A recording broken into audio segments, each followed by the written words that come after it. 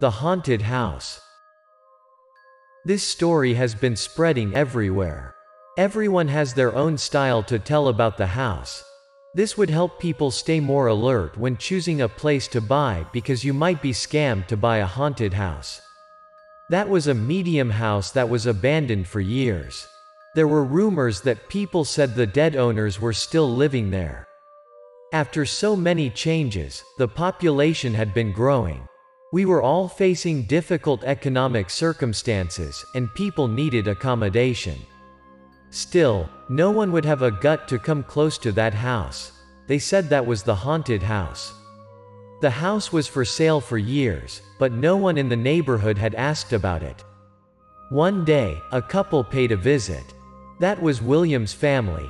Mr. William just had a promotion and was William referred to another company's location. His family needed a house to settle down at the new site. The realtor was Oliver. If he could sell the house, he could make huge money. I think this house is really a good choice for your four members family.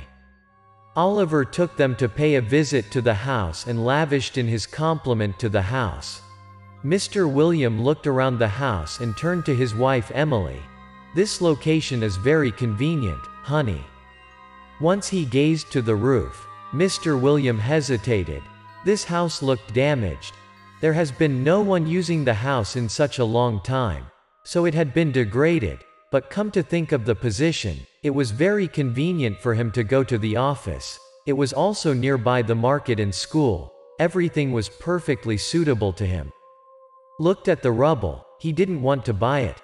Oliver was a professional realtor. It would be great if there is someone could buy that house. He made his move. Director William, no worries.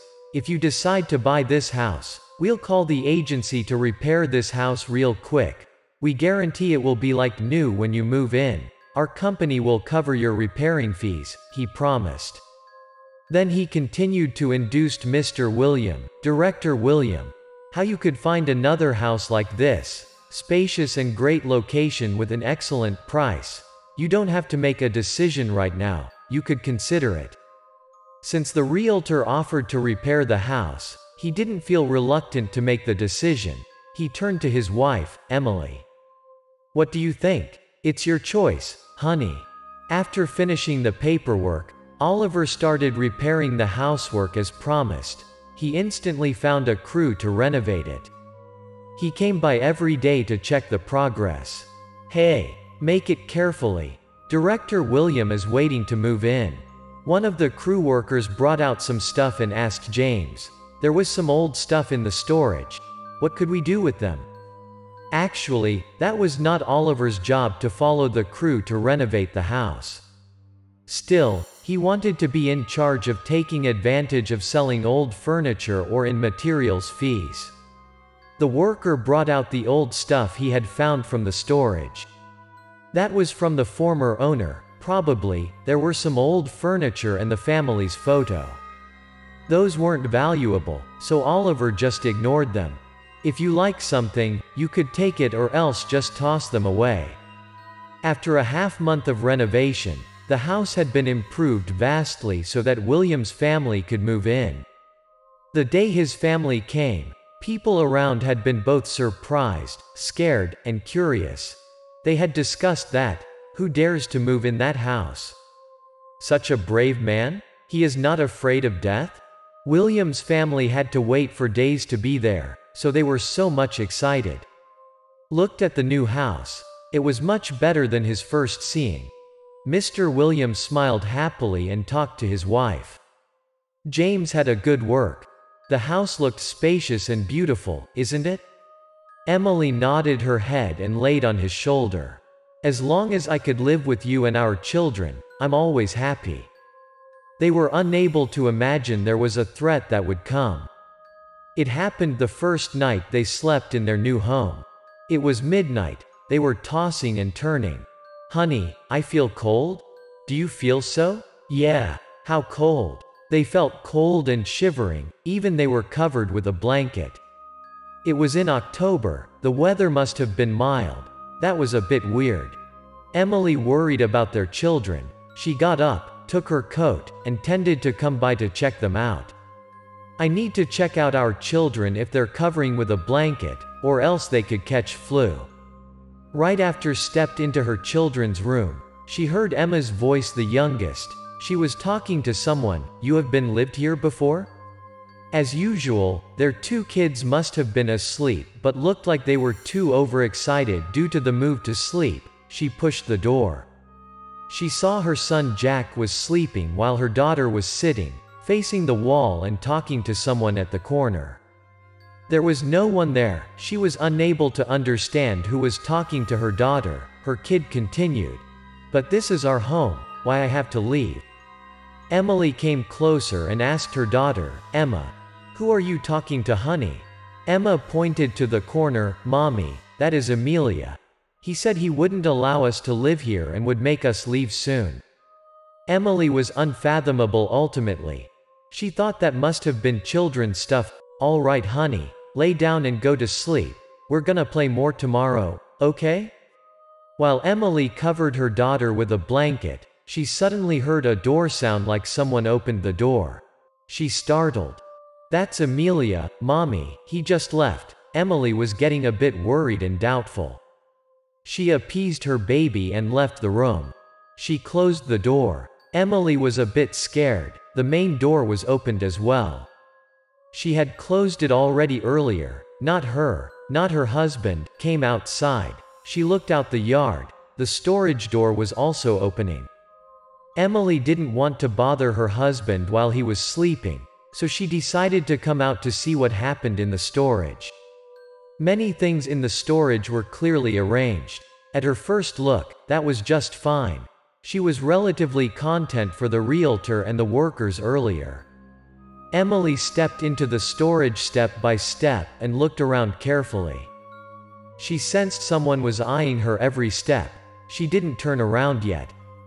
Once she decided to leave the storage since there was nothing wrong, a moving sound was at the top of the old cabinet nearby. She eyed up. There was a big box at the top that must have been a toolbox which was containing hammers and handsaws. It suddenly felt off to her head. Emily was unable to dodge it. The box felt of opening, everything in it flew out along as well, and the hammer felt straight to her head. Emily's head was hit by the hammer badly. It hurt her so badly, she fell to the ground after gave an exclamation, her eyes catching where the box felt out, up the top of the cabinet. She saw a boy, he was squatting in it. The boy smirked at her, and she lost her consciousness. On the other hand, Mr. William had waited for his wife to come back from their children's room for so long. He rushed out and heard some broken sounds in the storage. Seeing his wife felt, he hurried ran towards her, Emily, are you okay? Mr. William carried his wife and tended to bring her to the hospital. Blood was all over her face, which was so dangerous, but his wife kept talking something, ghost, ghost, painfully. After hospitalizing, after a few checks, luckily, she just got some slight shocks, there was nothing critical. Mr. William asked after what happened that night. Emily told him the whole thing, the reason why she came to the storage, then saw a baby at the top of the cabinet in there, and he pushed the toolbox out. That was Amelia. He has been live here before, their little girl spoke up. At first, Mr. William didn't believe those stuff but hearing his wife and daughter seriously, he started to doubt the house. He had been at the hospital with his wife for a while, then he came home alone, he found a ladder and climbed up to check the cabinet. At first glance, he found it surprised. It was full of dusty, and there were clearly some fingerprints and footprints there. Those prints looked new. That probably has been a ghost there. He tried to push the toolbox to his wife. He wondered. The more Mr. William thought, the more he got scared out. He could not let his family live there anymore, that was so dangerous, so he sent his kids to one of his co-workers, then he came to the police station. Mr. William had known the sheriff who had been living and working there for years. He came by to ask about the house. Once the sheriff heard he wandered about the place, he looked shocked and scared. Why you don't tell me you bought that house? Jesus. I just bought, no time to give you a call. The sheriff is Mr. Samuel, he very surprised since his friend bought that haunted house. There were two families used to live in that house and they had got dead people. You didn't know that. What? Two families? There were dead people? What happened? Sheriff Samuel told him about the old day. He had been assigned to two cases related to that house. The two instances had happened a very long time ago. Samuel thought there would be no one who could move into the house. The two cases were very impressive to him since they were all too cruel and heartbroken. The gap time between the first and the other case was a few years, but the details were very similar. The point was the husband had killed himself after killed his wife and child. The reason had been still opening. The crime scene was very drastic. The killer had used the knife to chop out the bodies to pieces. After investigation, at first, it was all pleased families. Still, after moving to that house, the husband's temper changed a lot, and in the end, he killed his wife and son and committed suicide. After then, even the reasons were all family conflicts, but the neighborhood had rumored that the house had been haunted, and unexpectedly, William had bought the house after years of empty. After hearing Oliver's whole thing, Mr. William got more panicked, but he was pleased that it was still soon when he could find this out. William, listen to me. You gotta move out right now. I'll help you to find another good house. Who knows what could happen next? The sheriff didn't directly lead him to the conclusion about the haunted house. Still, as a friend, he advised William to move out as quickly as possible or else he would regret it. Mr. William also panicked, then he obeyed his friend, he immediately found another house and moved. Staying in that house, I don't know what else happened. He was too negligent to not research carefully before buying that house. Luckily everything was discovered early, and his family was safe.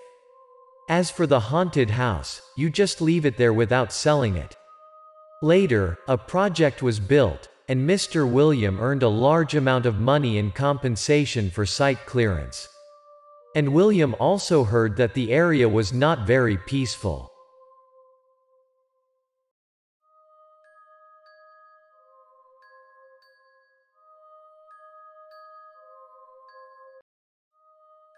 Unfortunate events. Hello, Auntie Emma. Who is this child? When I was eight years old, I had an unforgettable memory that I will tell you right now.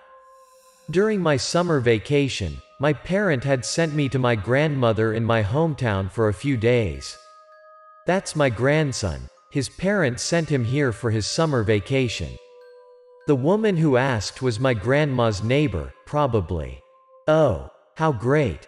The woman also seemed to be happy for my grandmother. Yes, she lived here alone. My parents or I did not come back to play with her for a while. This time I have a lot of summer vacation, so I will probably stay with her for quite a bit. After staying with her for a few days, there was a piece of the sad news that her grandmother's relative had passed away. That relative of hers did not live in the same village with her grandmother but rather far away. It took a few hours to get there by car. She could not feel secure and left me alone, so she took me with her. Oh my gosh, I am tired of driving, but I can't help but know what to do now. That day, since the traffic was running well, we just took two hours by bus. Our relative's family had treated all the visitors to a feast, once we got there, I was pretty hungry, so my grandma brought me some food and asked me to stay put. Does everyone heard the news? I had eavesdropped on their conversation. It looked like that was an unexpected pass away.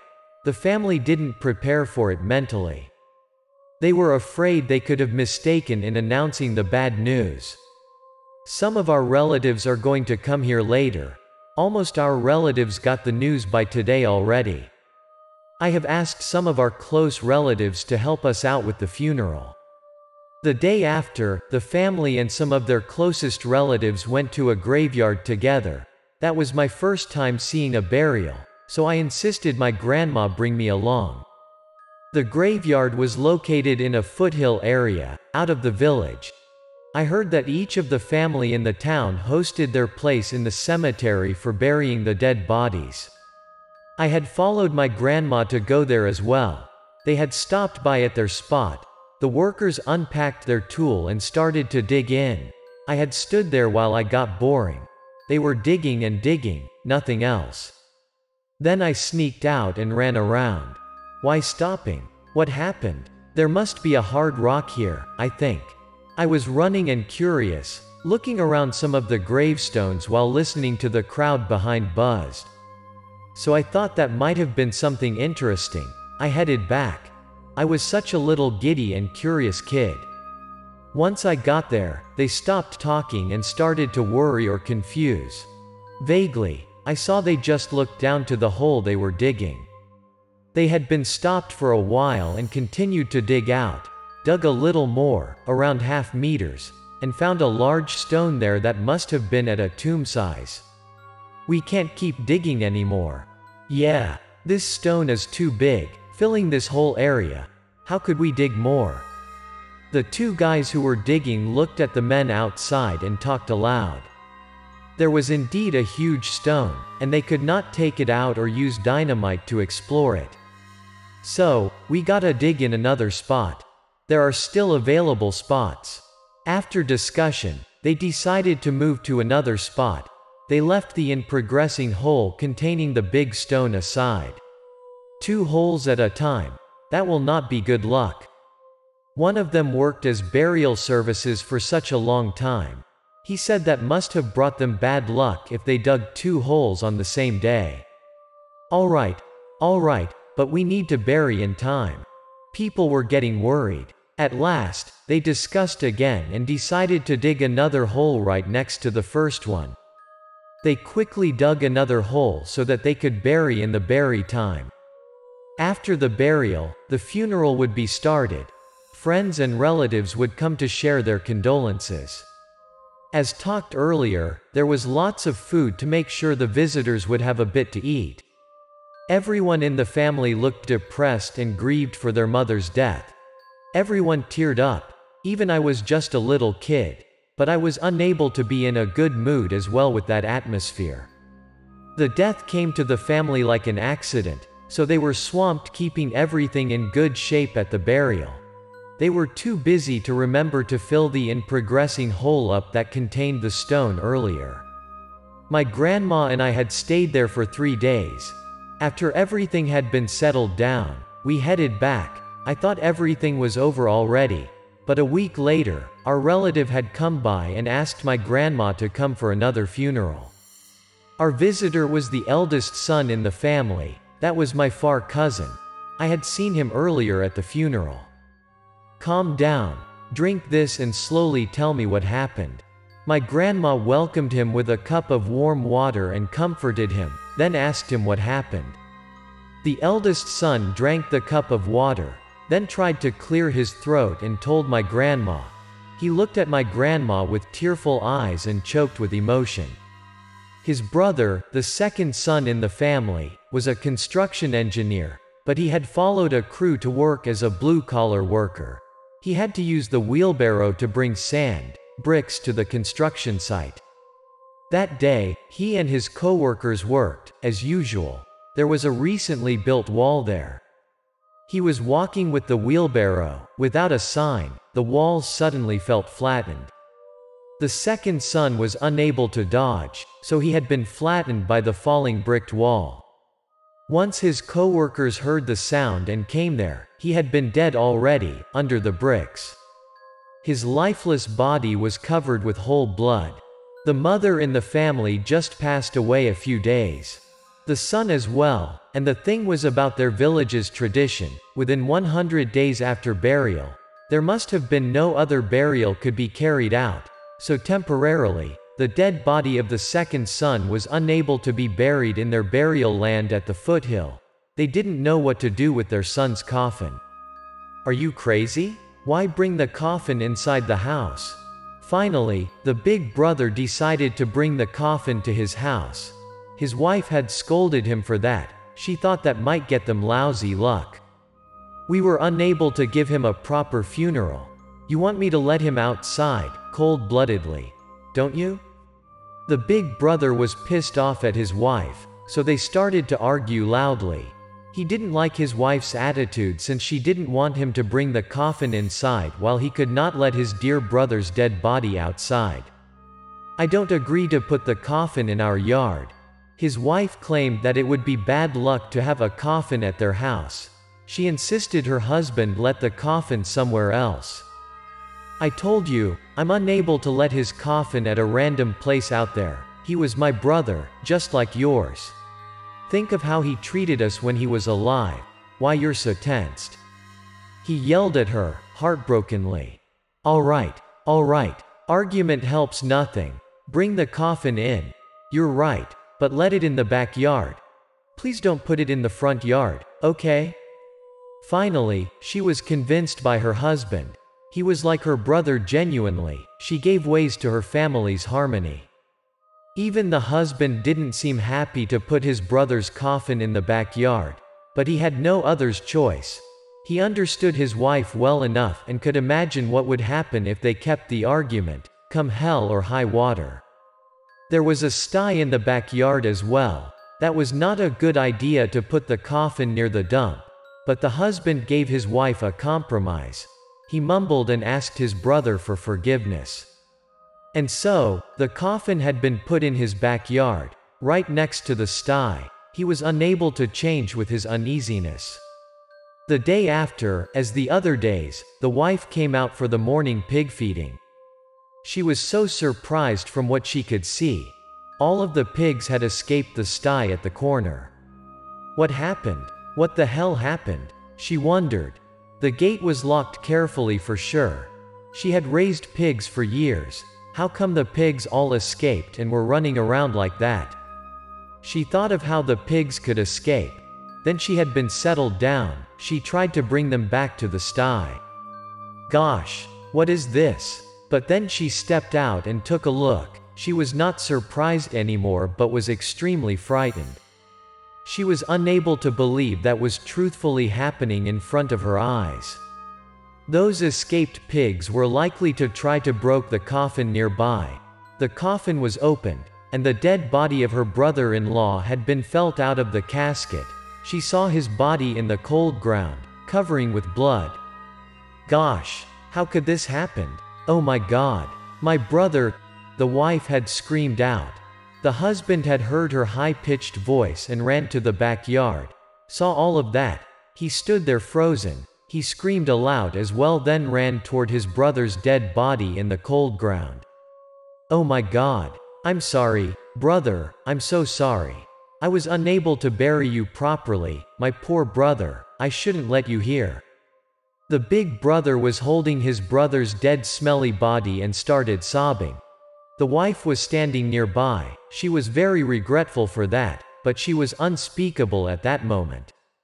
Honey, stop crying. Quick, quick, put his body back to the coffin. It's smelly and scares me out. The wife was unable to stand there anymore, she spoke up. You have no right to talk to me like that. This is all your fault. He turned to his wife and lashed out at her. What she said earlier got him angry. He claimed that was the wife's fault. If she allows him to put the coffin in the front yard, that will not happen at all. What? What wrong if I think about this family? I'm afraid of bad luck. Why you claim me like that? She got angry as well. She didn't think she was wrong. You don't think that was your fault? Seeing her insistency, the husband got angrier and angrier. All of a sudden, he stood up. He clapped his wife so badly. You're beating me? Our love is nothing. I want to divorce. The wife got exacerbated and wanted to divorce. After then, she prepared to leave the house. She packed her bag full of her clothes inside. She would like to get back to her parents' house. Isabella, you're looking so bad. what happened? Are you guys arguing?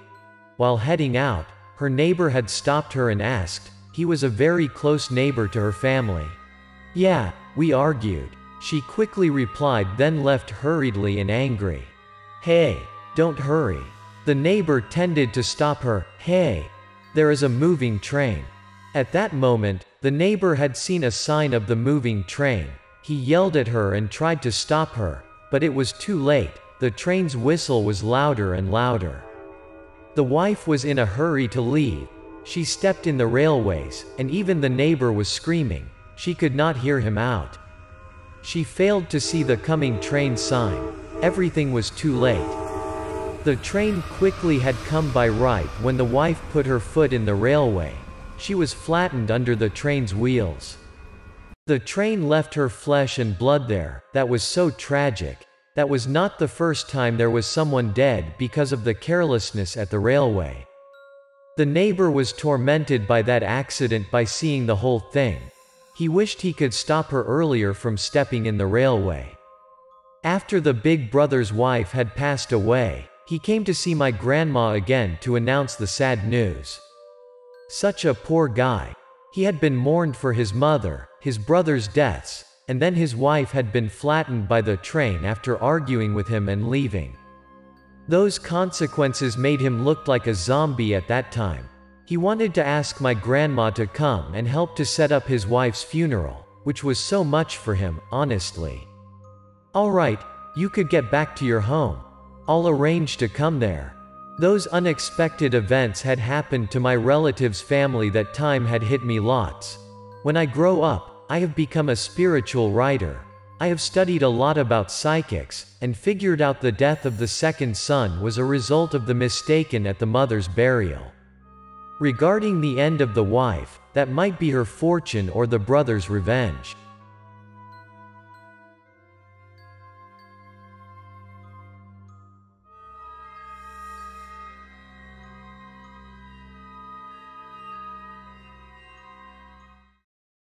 Mysterious urn jars. The story I am going to tell you is related to one of my sisters. In 2014, my sister married one of our countrymen. After the marriage, they moved to another place and applied to work in a factory. The factory had offered a dormitory for the workers. Still, they were just married, so they decided to rent a small house nearby. The house is a bit old and at a quiet location but pretty clean. I have been cleaning every day.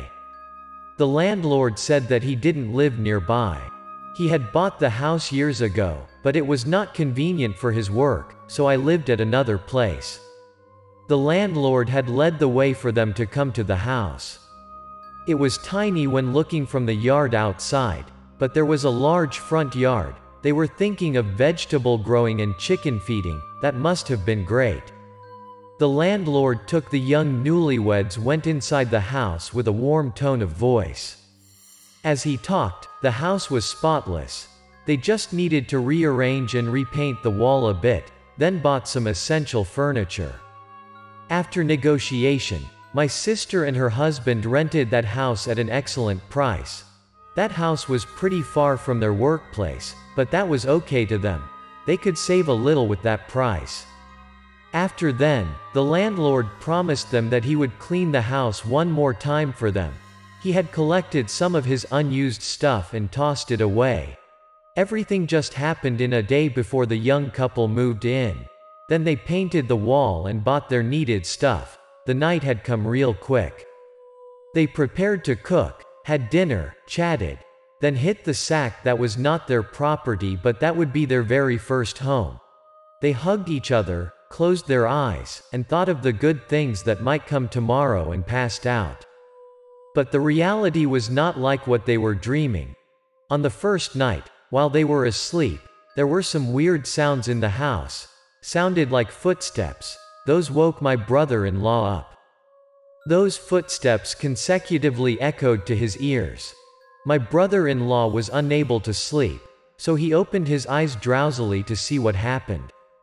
He saw lots of people walking in front of him. He panicked and got up straight and yelled at them, Who are you? What are you here for? What happened? Why are you screaming in the middle of the night? Those mysterious people he had seen had been disappeared at that moment. His scream got my sister awakened. I saw lots of people walking there. Where the hell are they going? My brother-in-law told her what he had seen. What are you talking about? Who? I have locked the door very carefully, who could enter?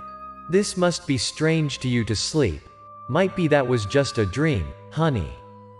There was nothing more proper than a dream to explain what my brother had seen earlier. He agreed so, he laid down and tried to sleep. Later then, that was my sister's turn, she heard some weird sounds and was unable to sleep. Honey, wake up. Quick. Around 2 a.m. when my brother-in-law was nearly falling asleep, my sister soothed him up. There must have been something wrong with her, she looked panicked. What happened? The sun has not come up yet. Why don't you let me sleep a little more? He was unable to sleep due to my sister's voices. He rubbed his eyes, straightened up, and asked my sister. Look at the wall. My sister was pointing out the wall, frighteningly. That was the wall they have painted earlier. The couple got out of the bed and came to the wall.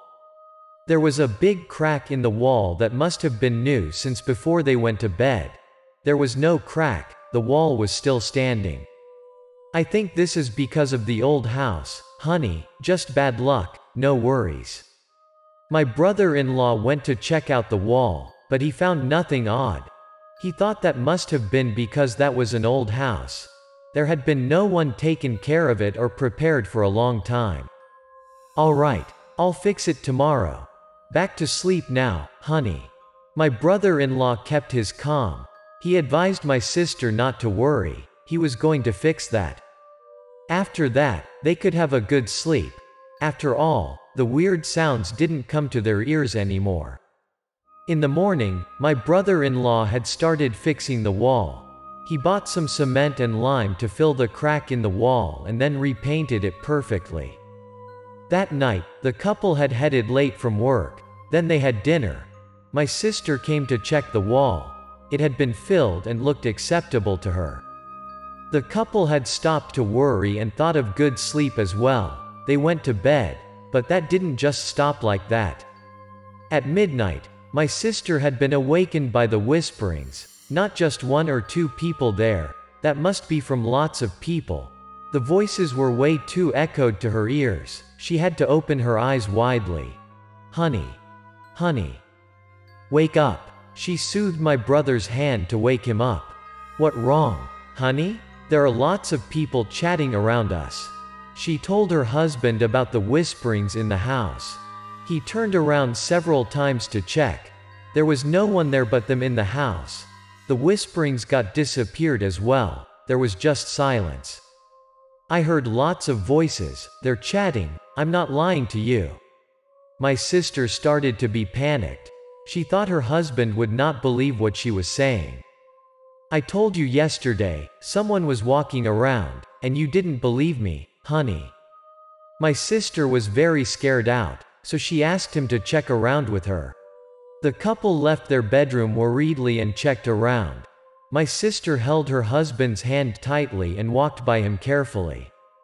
They had checked all around the house, but there was no one to be found. Main door.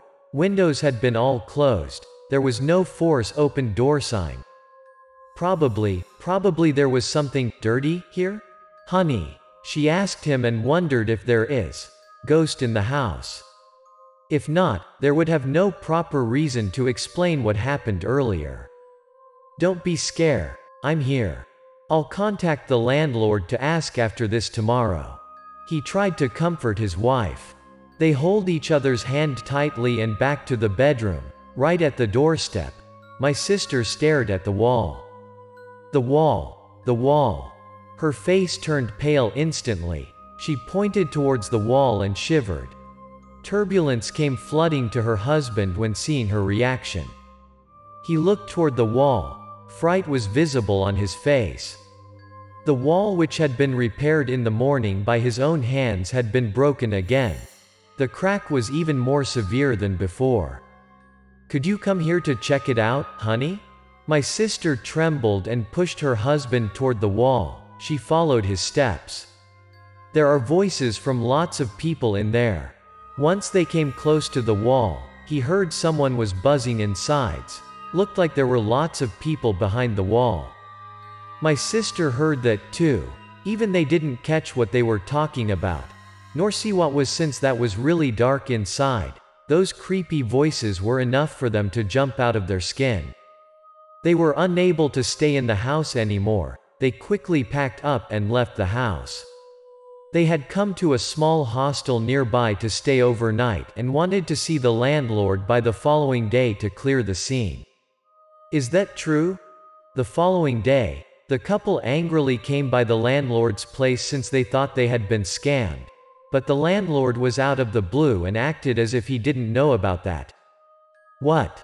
That is your house. And you're asking us? Are you kidding us? My brother-in-law was really pissed off at the landlord. The landlord explained he had bought the house from a single man, and he had stayed overnight there a few days already. Still, there had been nothing like they said. It looked like the owner didn't lie to them. He agreed to come by the house to check it out. Once they entered the entrance, the couple got a bit scared and went after the landlord. Gosh, why the wall looks like that? Once entering the bedroom, the landlord was shocked when seeing the wall. See, we don't lie, as you could see, that is 100% true. The crack looked very ugly, demonically.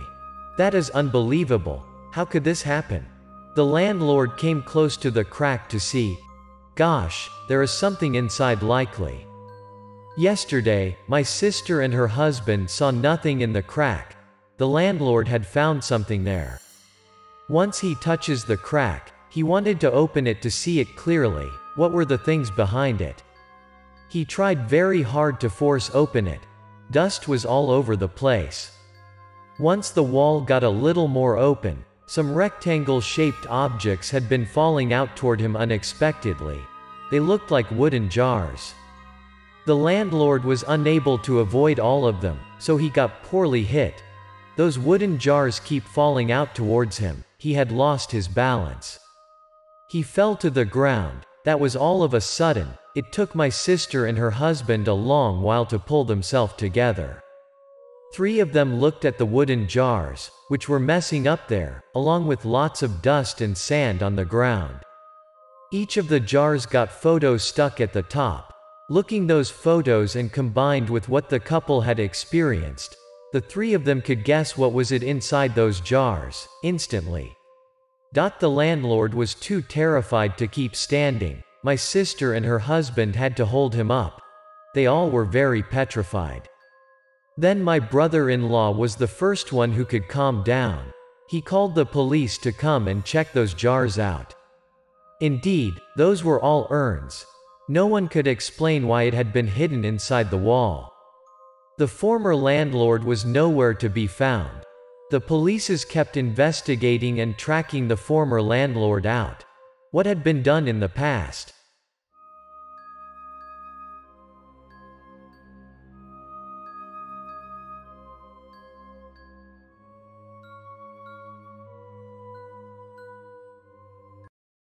Followed by a ghost. In June, seven years ago, I had departed from my secondary school and had moved to high school in the middle of August. Since my high school was pretty far from my home, I had to stay at the dormitory, and that was the beginning of my unforgettable event. Luckily, I was an extrovert, so shortly, I had made new friends as well as used to the new environment. I got no uncomfortable when being far from home, and, another thing was my roommates were very friendly and helpful. Just nearly in a week, we were all close to each other like brothers. That high school was pretty new back then, it had been just finished one or two months earlier. There was a mountain, nearly West Mountain. The school was like in the middle of nowhere, there was just a few convenient stores and houses in the area, but there was a huge beautiful mountain nearby, we had been filled up by the fresh air peacefully. Students like us had a chance to walk there at the weekend. On Saturday, students didn't have to go to classes in the afternoon. My roommates had asked me to come to West Mountain, their only Benjamin was unable to join us. That day was mild. We packed some snacks and some of our stuff and went to the mountain. The way to get there was beautiful as well. We trekked to the hill while we were watching the scenery around. Guys, come here. Once we were in the middle of the way up, I heard Jack's voice, one of my roommates, called us. Look, that way. He pointed out nearby and looked pretty surprised. I eyed out curiously and saw a tomb behind the ancient threes. That was what he called us for. Gosh, that was nothing, dude. At the foothill, I saw a cemetery. I had heard from teachers, and some of the seniors had told. There were some cemeteries up here. Since the mountain was a very huge place, people came to bury the deaths very often. No, not that. A tomb would not make me surprised. That tomb was weird. Look carefully, not like those from the foothill. I came up closer, and indeed, that tomb was likely to be an ancient one. I was unsure. That was what the Deaths family had tried to build like that, or that tomb had been built there for a long time ago. My father was a fan of antiques so that ancient-like burial was very attractive to me. I stood in front of the tomb and stared at it for a long while.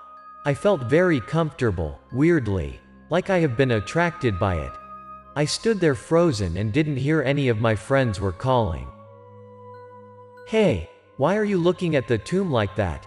I was unable to give my eye away from the tomb until Daniel soothed my shoulder lightly. I gradually got back my consciousness, but then I got a shiver down my spine. My back was sweaty. I got tired today. Could we make it later another day? Let's head back to the school. At first, we had planned to make it to the top of the mountain, but at that moment, Daniel told us he got exhausted and wanted to head back. Not only that, I also sensed Daniel and Jack were looking at me with their confused eyes. We headed back to the dorm. No one talked. After a few days, my room got some strange events. The first one was my sandals order. I got an obsessed compulsive disorder symptom. Every night, I had to reorganize my sandal to make sure everything was on its orders before bedtime. My roommates had tried to avoid messing my stuff at night. But on the morning after the particular day, we had trekked to the mountain. I saw my sandal lying disorganizedly, which was not expected. Hey, guys, did anyone borrow my sandal last night? My obsessive compulsive disorder drove me crazy every time there was someone touches my stuff. So I had empathized with this point to my friends lots of time prior. But everyone had shaken their head when I asked. That was very outrageous. A few days after, I had to head out early in the morning. Once I arrived at my room, I saw my roommates were all packing their packages. What the heck? Why are you all leaving? It's great here, isn't it? Or do you guys upset at me? If so, just tell me. My apologies, I didn't mean it. I was so surprised once I heard my three roommates would like to leave. I thought that might have misunderstood. No, we didn't leave because of you, that our family wants us to. Daniel told me, and the others also replied with the same reason. Then, they said goodbye to me and left hurriedly. We didn't even have time for a farewell party. I didn't believe in their reasons, but I didn't want to be mind numbing, so there was me left as the only one in the room until the other ones would come. Regarding the strange events I have mentioned above, this is just a beginning. On another Saturday, after a few days, all my roommates had left. I got bored and went to the library to find some books. I borrowed a book and back to my room, then laying in the bed until around 1 p.m. I tended to have a snap after one hour reading since I had to go to my aunt's place in the afternoon. Weirdly, I recalled that I had read just two pages. My aunt came to call me for dinner. I checked my watch, and it was 5 p.m. already. That was irrational. I believed I didn't oversleep.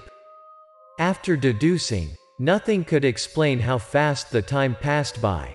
It might be I just overslept and didn't recognize. That night, after having dinner with my aunt, I headed back and wanted to hit the sack early. But I was tossing and turning around, so I turned the lamp on, took the book. While reading, suddenly I felt very sleepy, then I turned the lamp off, put the book back and fell asleep straight away. At 4 a.m., I jolt awake. I felt something extraordinary, so I looked down. I saw I was wearing a t-shirt as if I prepared to go out. The lamp was on, that was out of the ordinary. I had worn a shirt when I had gone to bed earlier. I felt a bit hot under my legs, so I opened the blanket and looked down at my legs. I was wearing my shoes. Another shock came to me. Look carefully, I saw my shoes had been covered with mud and dirt. Also, all my bedsheet was horrible to me. Did I just go out? It's 4 in the morning when the hell I go out, or I was sleepwalking. Those unexplainable questions popped out on my head, with mud in my shoes. I must have gone somewhere very far from my dorm, probably the mountain nearby. After a while, I believed I had been sleepwalking. I took off my shoes, then took a look at them. I wondered did I come to the mountain while sleepwalking? Come to think of it, I was a bit scared. I tried to recall, but my memories had stopped at the moment I turned the lamp off. Eventually, I thought of my three roommates. I realized that our room was not like before for days before the day they left. As what was happened, I thought they moved out really because of me. I could not understand what had happened. If I was sleepwalking, that would be pretty dangerous. I wanted to find an answer for all of those unusual events. So one day, I came after Daniel after classes to make it clear. I came after Daniel to the parking lot. I knew he always parked his bike at a particular spot. Once we got to the parking lot, there was no one around, since it was late than usual. Daniel still didn't know about my presence there.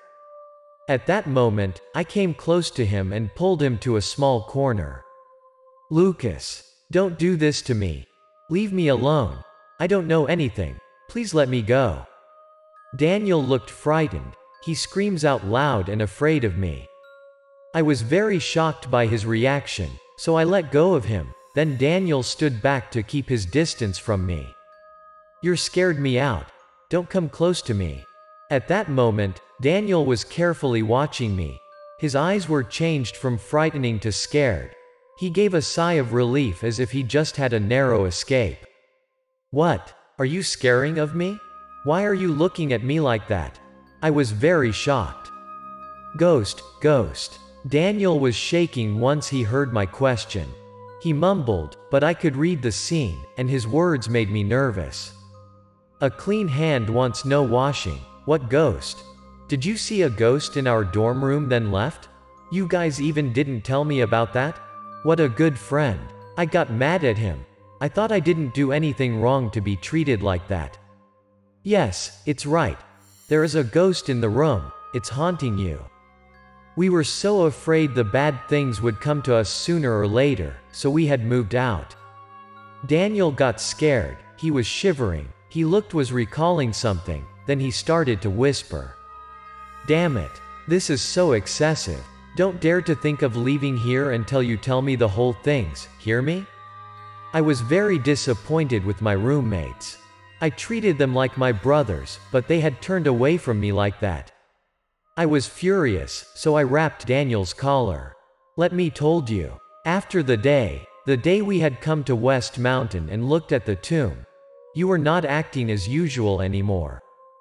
Daniel was started to tell me by his shivering voice. As Daniel told me, I stared at the tomb for a long while, then I started acting untypically. I had stared at the tomb with a glassy-eyed look. Even Daniel and Jack had called me a few times, but I had no reply. I had thought I just stood there for a few minutes. Not just that. Daniel said that after a while of immobility, I started to mumble something and acted very weird. My voice had been not mine. That was a very high-pitched voice. I tried to remember what happened that day, what in my head as I stood there for a while, but no memories of what Daniel told me. After then, I started sleepwalking and scared everyone out of the room. They used to see me jolt awake then walked in the circle next to my bed one time. They had called me for a while, they tried to stop me, but likely I was unable to hear them out. Damn it. Damn it. Damn it. Another day, I had mumbled something and hit my head on the wall. My face looked very scary. After a few days of seeing me consecutively like that, they all guessed that I have been followed by someone from another world from the tomb. The ghost followed me to the dorm eventually. They were all terrified and thought for their own safety, so they had chosen to leave quietly. They were so afraid of the ghost that might harm them if they alerted me. After hearing all of that, I could not hold my anger. I gave Daniel a punch on his face, I couldn't believe that my brothers would do that to me. After releasing my anger, I left. I knew what was happening already, so I wanted to end all of that unusual thing. Obviously, that was not the thing I was capable of, but my father could. He must have experienced lots of things and could give me a solution. I called him up and prepared for being showering by scold, such stupid, no brain boys. Why did you stand in front of a tomb and talk junk?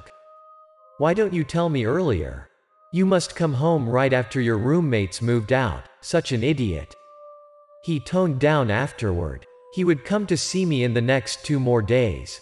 He told me to stay calm, praying before going to bed. As promised, he came two days after, he brings a wooden box along. My father stood at the door and called me out, my stupid son, Come out here. He told me to take him right to the tomb, then I led the way to West Mountain. Because I just came there once, I could not remember exactly where the tomb was. We had to look around for a while to get there. Once reaching the tomb, my father knelt down his one leg and opened his box. There was a copper pot inside. Then my father took the pot out. There were some pieces of joss paper as well underneath, he started to burn those pieces of joss paper. My dear old friend, in the tomb. My son is just a visitor. He is just a child and didn't mean to harm you.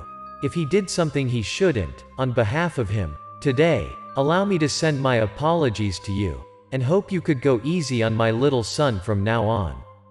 My father looked at the burning joss paper and prayed earnestly.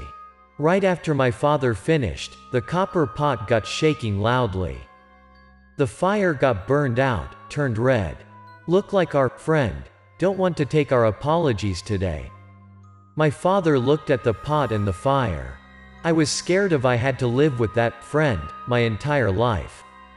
If you don't go easy on him, I'm afraid I had to ask my friends to come to help us out. He is a very talented shaman, please consider. My father looked a bit worried, but his voice was getting more severe and evident. Even I have friended with a shaman, but there are only my son and me here today, so please forgive what my stupid son had done.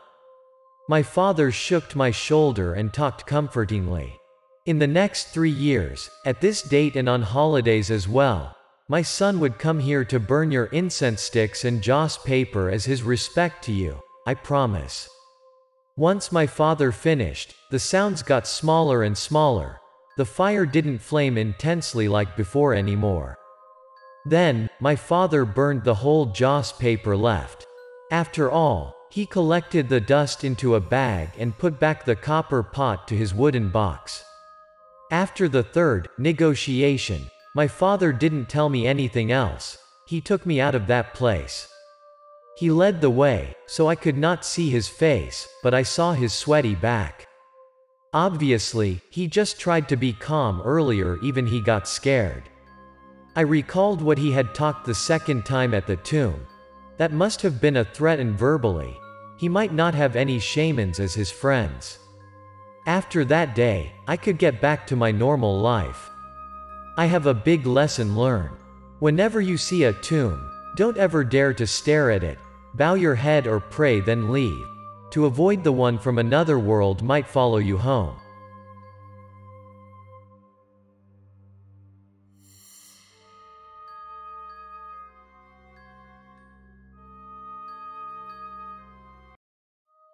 The red dress. In 2013, my girlfriend and I had experienced an unforgettable event. That year, we had saved enough money to move from our small old place to a better place, a rented apartment in West City. We found it luckily since the landlord had left us over all his furniture at an excellent price. Of course, we agreed to rent it right away. We didn't need to buy anything. We just needed to buy some of our personal stuff and made a new decoration for the apartment. What do you think, honey? It's spacious so much than the old one, isn't it? Once we saved enough money, we'll buy it. This is our home now. Finally, we could feel more comfortable with that convenient, quiet, and spacious apartment from a small room. Happiness was visible on my girlfriend's face. We had dreamt about the apartment for so long. Finally, our dream could come true. I was really on cloud nine. You made me the happiest woman in this world, honey. I'll try to make you happier. For our future. I love you. At that moment, we had a home, our warm and private place. We didn't have to wake up in such a tiny, noisy area every day like before. Honey, do we need to clean up again? Even the landlord had been cleaned up, but as I could see, it still needs to clean, or else I couldn't sleep well tonight with this mess. We gotta arrange our closet and cupboard. We laid down on the couch, trash talked, and discussed the future, then Emma asked us to go clean up the apartment. Then together, we had started to clean the apartment. After sweeping the floor, we packed our clothes out and hung them in the closet. While packing out, I heard my girlfriend exclaimed with joys, and I turned back to her. She was likely to find something very nice in the closet. Honey, look what I found. Is it nice on me? I saw she was holding a red dress in her hands. When did you buy it? I have never seen you wear that dress. The dress looked new, and I had not seen she had worn it before. I guessed she had just bought it. I just saw it while rearranging the closet. Might be the former owner had left it here. It looks new, like have never been worn before. Emma explained she didn't buy it. Okay. You could keep it. Wash it before give it a try. It looks really new. The former's owner might rarely wear it, what a waste if we toss it away. Seeing my girlfriend was fancy it, she kept it in her hands and looking at the dress, so I advised her to keep it, there would no one returns to ask for a dress. After finishing the whole thing, we had cooked and been having dinner together. Time flew by when we were having fun, bedtime came.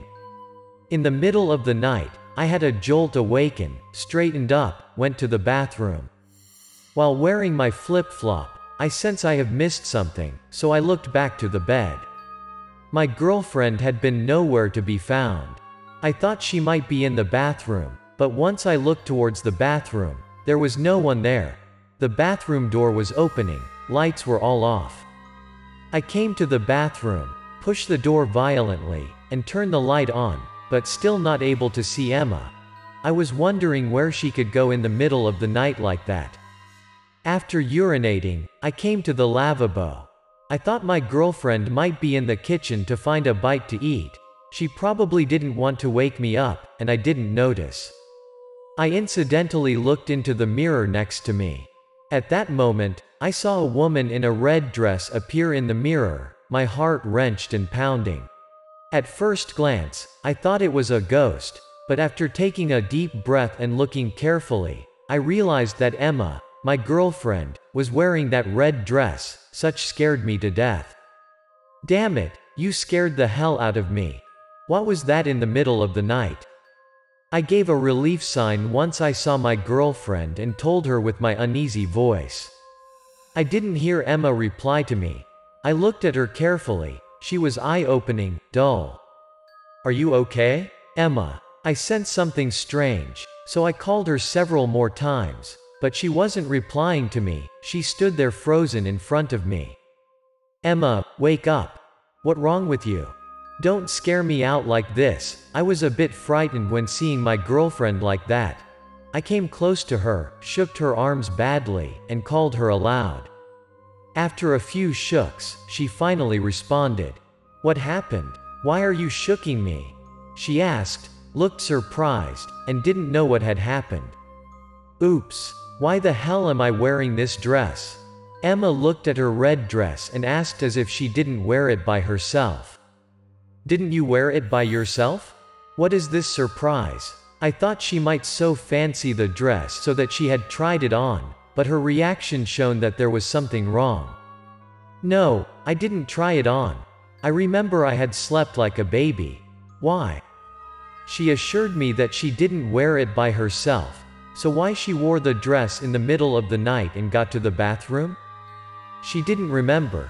She looked like she didn't know what had happened to her. This is sleepwalked. Definitely. Don't mind it. Let's head back to our bed. No worries. I don't have any ideas of what happened. Why am I here? Even I sense it must have something unnormal here, but I didn't want my girlfriend to be troublesome. I comforted her then took her to the bed. She changed her dress and put the red dress on the dressing table next to the bed. Not long later, she fell asleep. I thought everything might over. I turned my back to her and also tried to sleep. While tired, I felt an unpleasant eye on me behind my back. That was like seeing through my body. I was unable to stand that vagueness, so I turned back to face it. Honey, what made you awake? Why don't you get to sleep? At that moment, my girlfriend drove me a bit frightened and scared off. Emma was eye-opening her lifeless eyes, stared at me horribly.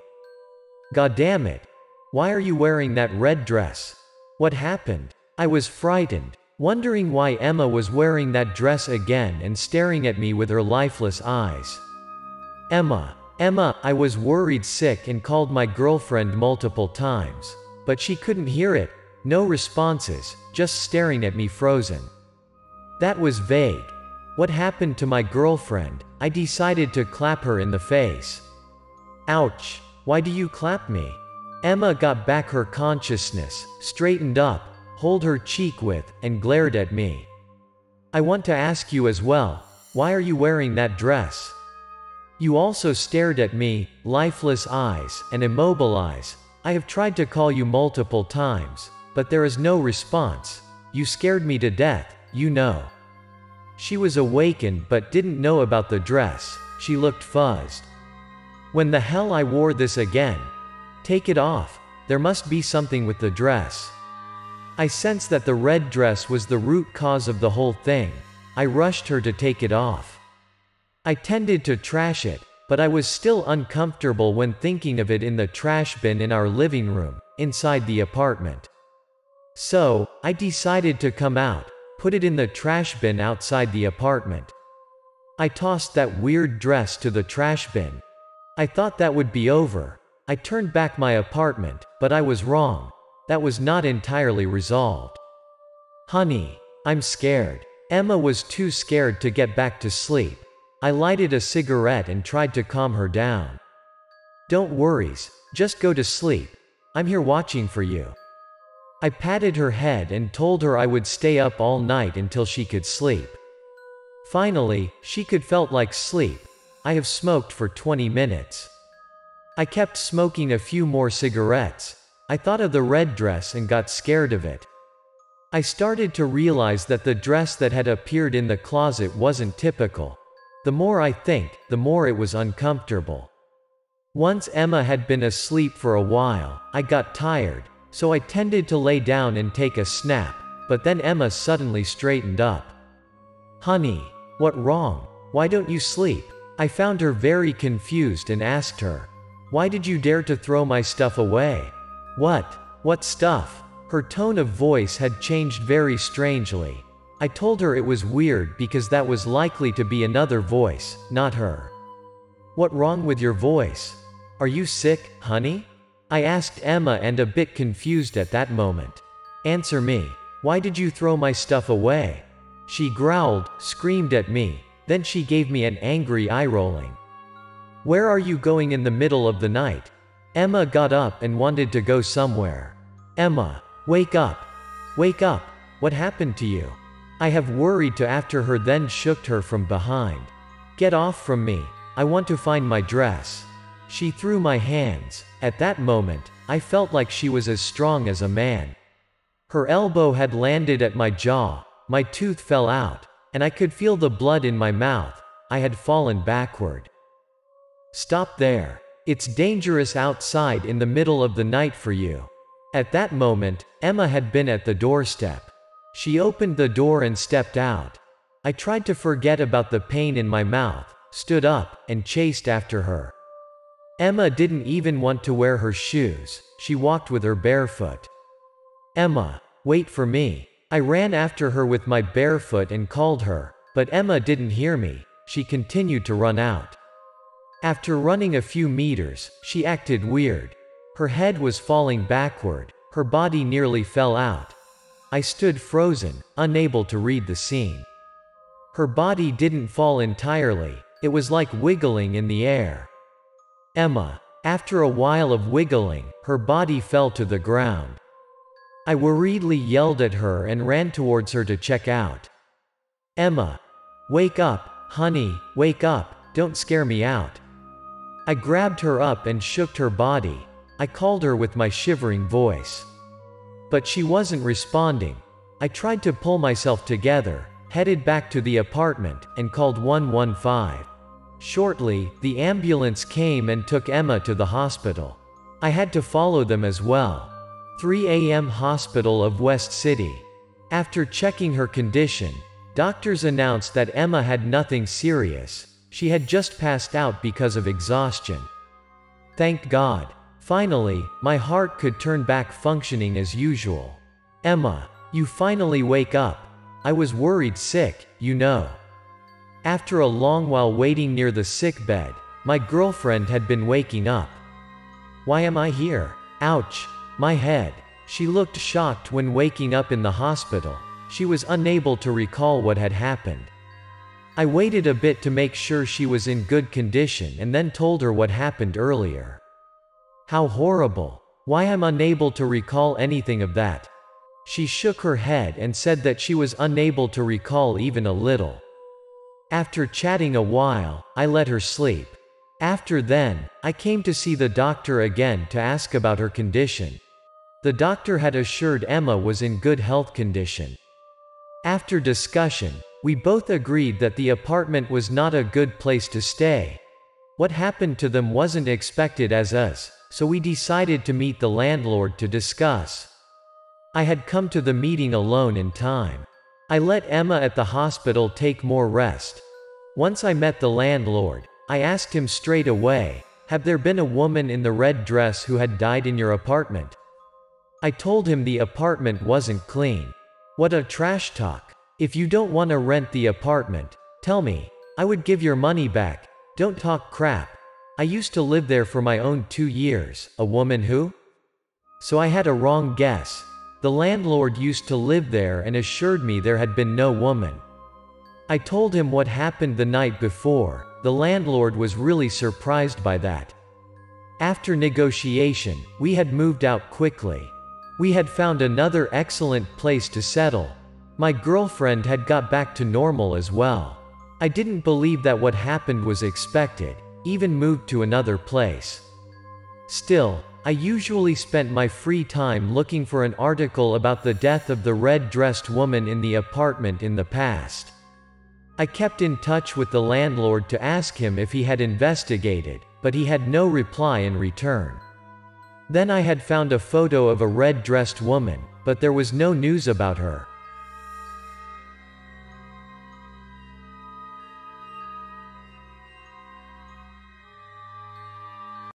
Wealthy Dream Earlier, I lived in West Village. I heard this story through one of my close friends, and it keeps stuck in my head until now.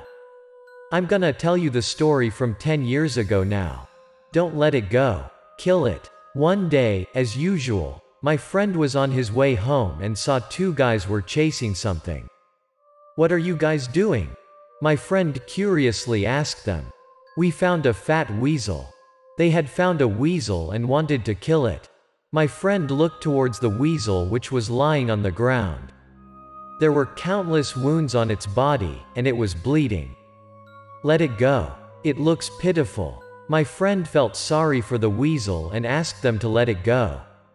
Are you kidding us? We took lots of time to have it. How could we just let it go easily? But those two guys didn't want to go easy on the wounded weasel. They tried to kill it. If you want it, leave me 500, or else leave us alone. They had offered him a price for letting the weasel go. What does it sound? Do you want to save it? Even though my friend had enough money, but that was a high price, so he had a bit hesitant. Don't have money? So don't pretend to be a hypocrite here. Get lost. Seeing my friend's hesitation, one of them continued to use a stick to poke the weasel. The weasel screamed aloud painfully. Its body was bleeding with lots of fresh blood. Stop it. Please don't hurt the weasel. I'll give you the money. My friend was unable to see those cruel actions, he gave them money. The two guys took the money, then left. Go, quick, or they gotta change their minds. My friend took out his handkerchief and tied the weasel down, then told it to leave. After a bandage, the weasel had left. My friend had given the two guys all of his salary that day, but he was delighted because he had done a good thing. Time flew by. After then, the weasel came to his house every day, unexpectedly. The weasel appeared to wander around his house. It didn't take his chicken or come close to him, just lurked around his house. My friend didn't chase it away, nor take it as a pet in his house, just let it lurking around day by day. In a blink of an eye, that was 20 years, the weasel had been wandering around his house for 20 years. My friend was becoming a middle-aged man, he was in his 40s, but he was still single. Probably, girls in the village had criticized him and didn't want to marry a poor man like him. One night, while he was asleep, he had heard a man's voice near his bed, but he was unable to open his eyes. Twenty years ago, you saved my life. I have completely recovered and wanted to give you a favor. I'll make you become a rich man. The man introduced he was the weasel saved by my friend and wanted to repay him, he would make my friend rich. After then, my friend jolt awake, but he found no one in his small house. He thought it must have been a dream. Due to his age, he could not make a living with his hoe, so he opened his business to prepare vinegar as his traditional recipe. He would bring vinegar to the big cities to sell it. He had surprised that his goods were able to be sold quickly, almost just in an offer to the customers in the street. Then his business had been grown bigger and bigger, he didn't have to go around to sell it. People would hear about his prestige and come by his place to buy. He made more and more money every day. Shortly, my friend had his payback, and he started to have interest. His business had been booming. After two years later, he had opened a few branches. All of his stores were working fine. He had become a big boss, and just been at home and collect the money. Not long later, he became made of money. He chose a great feng shui erected a giant mansion. After finishing the house, it looked like a small castle. My friend started to open his business to other fields, and surprisingly, everything was running so well, even he was good at the area or not. With his fortune, shortly, many people come to ask for matchmaking. Finally, he had chosen a pretty woman to marry. At that moment, my friend was in his 40s, and his wife was just in her 20s. My friend was immensely enjoying his abundant life. Honey, our dog got pregnant. I see. My friend had a dog. When my friend turned to be 43, the dog got pregnant. I think we also need a child. Indeed, honey. At that moment, he thought of a child. He needs a baby to take care of his business later on. My friend had thought of enjoying his wealth the rest of his life just like that. But one night, while he and his wife were asleep, Hey, buddy, he heard a familiar voice nearby. That was the voice he had been listened to years ago. I need to let you know this. The voice keeps echoing. Your dog would give birth to five small dogs. Among them, there will be one with a white birthmark on the chest that would be a good dog, but it will harm your family later, so you're better to toss it away right after it's born, remember that. Remember that. The man carefully told him, then his voice faded away. The following day, he woke up and told his wife the whole thing about the weasel and the man. What did the man told you? Seeing the sadness in my friend's face, his wife asked him. He told me that our dog is gonna gave birth to five puppies. One of them needs to be thrown away or killed. My friend told his wife he was an animal lover, so he was unable to do that. That was just a dream, honey, don't let it bother you. Seeing the husband staring and thinking, the wife soothed him. Master, mistress, while they had been chatting, one of their servants appeared at the door and called them aloud. Daisy gave birth. Daisy was his dog's name. Really? How many puppies she delivered? His dream last night made him a bit frightened. He asked the servant to clarify if the dream could come true. There are five puppies, mister. One of them has a heart-shaped birthmark on its chest, very lovely. The servant replied, is that a white birthmark? My friend was astounded when hearing that what he had heard in his dream indeed became true. Let's go to check out. After a few minutes to calm down, my friend took his wife followed his servant to Daisy's place. She is breastfeeding her children. Wow, this puppy is adorable, its birthmark is special. Once my friend came by, some of his servants were gathering around as well. They were all in love with the puppy with its white birthmark. Master, mistress, once my friend and his wife came, those servants gave them the way to see Daisy. Daisy had given birth to five pups as the anticipation in his dream. She was lying on the ground while its children were gathering around her, they looked pleased. My friend asked one of his servants to bring him the puppy with the white birthmark. Mister, look at this, it is adorable. The servant came and took the puppy up. He was cheerful and lavished compliments on the puppy. My friend has adored the pupil right at seeing the white heart shape in its chest.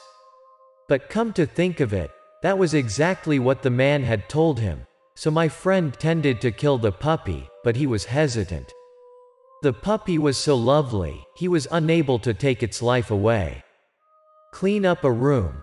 Lock this puppy out and take care of it carefully, don't let it run around.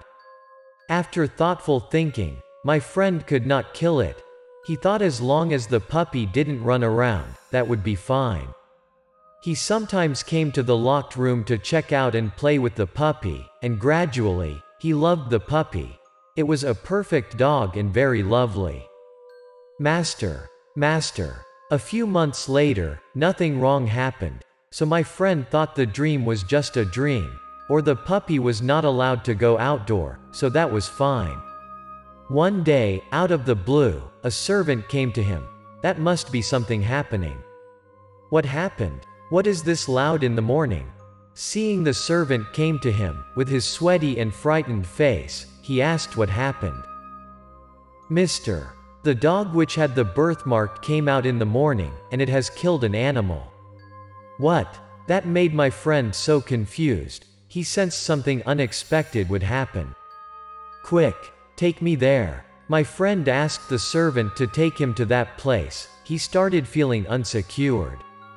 There was a crowd gathering around. He entered that place. His servants gave him the way in to see what happened. He was horrified from what he saw.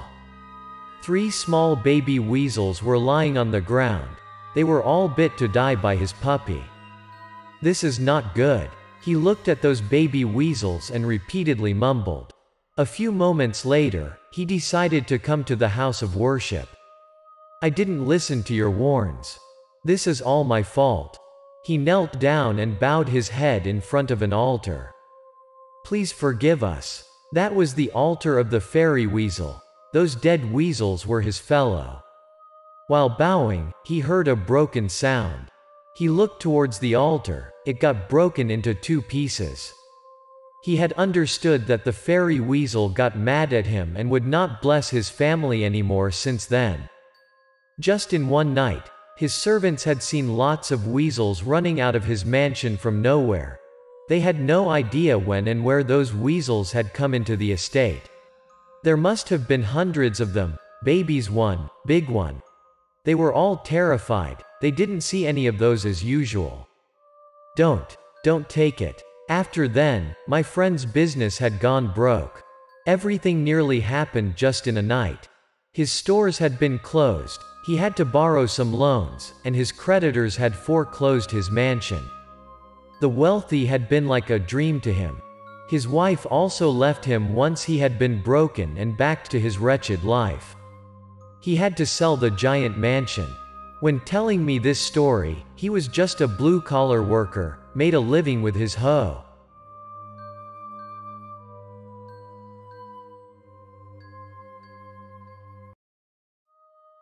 My girlfriend is a ghost.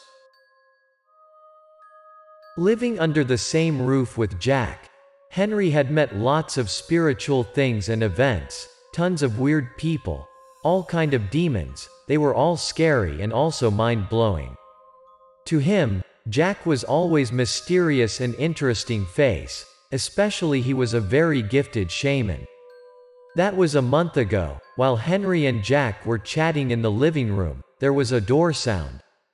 That must someone is looking for Jack, Henry first thought, and his thought was true. Henry came to get the door. There was a man at his ages, he looked shied, hello, is Mr. Jack home? The young man bore a dark, worried face, he got in trouble. Jack calmly invited the young man to have a sit. Please come in and have a sit. Henry sat next to the young man, and comforted him, don't worry. Mr. Jack is a naturally gifted shaman, he definitely could help you out. The young man started to tell them, my girlfriend has disappeared, she was nowhere to be found, please help me. Are you kidding me? Your girlfriend got disappeared. You should call the police, shouldn't you? Why are you here? Henry was unable to keep his temper. When the heck Jack opened a lost and found service? But to reply Henry, the young man kept his face down. He was likely to have a lot in his head. After a while, he continued, I'm talking about my girlfriend, but she is not a living human being. She is a ghost. Henry froze at that moment. The young man in front of his face looked healthy and normal. The surprise and confusion came flooding to Henry. But Jack still kept his calm very well. You got a gut, man. You knew she is a ghost and you still were with her? The young man got a bit embarrassed. He took a little silence and then started to tell them about his girlfriend, I know. You might not believe me. His name is Lucas, like other young people. Lucas got a white-collar job in the city. He rented a 30 square meters apartment to live in. He had been a simple man. He lived by himself boringly and lonely a few years until he met his girlfriend. One day, Lucas stepped out as usual, but at his doorsteps, he saw a girl who was sitting in front of his door. That was a young girl, Looked like at his ages, she was sitting there alone, with no belongings. He had to hurry to his office, so Lucas nodded his head politely and left real quick. He didn't pay much attention to her. After work, Lucas backed home, and still saw the girl there, she even kept the same position as to where he saw in the morning. Seeing Lucas, she smiled at him shyly and without a word.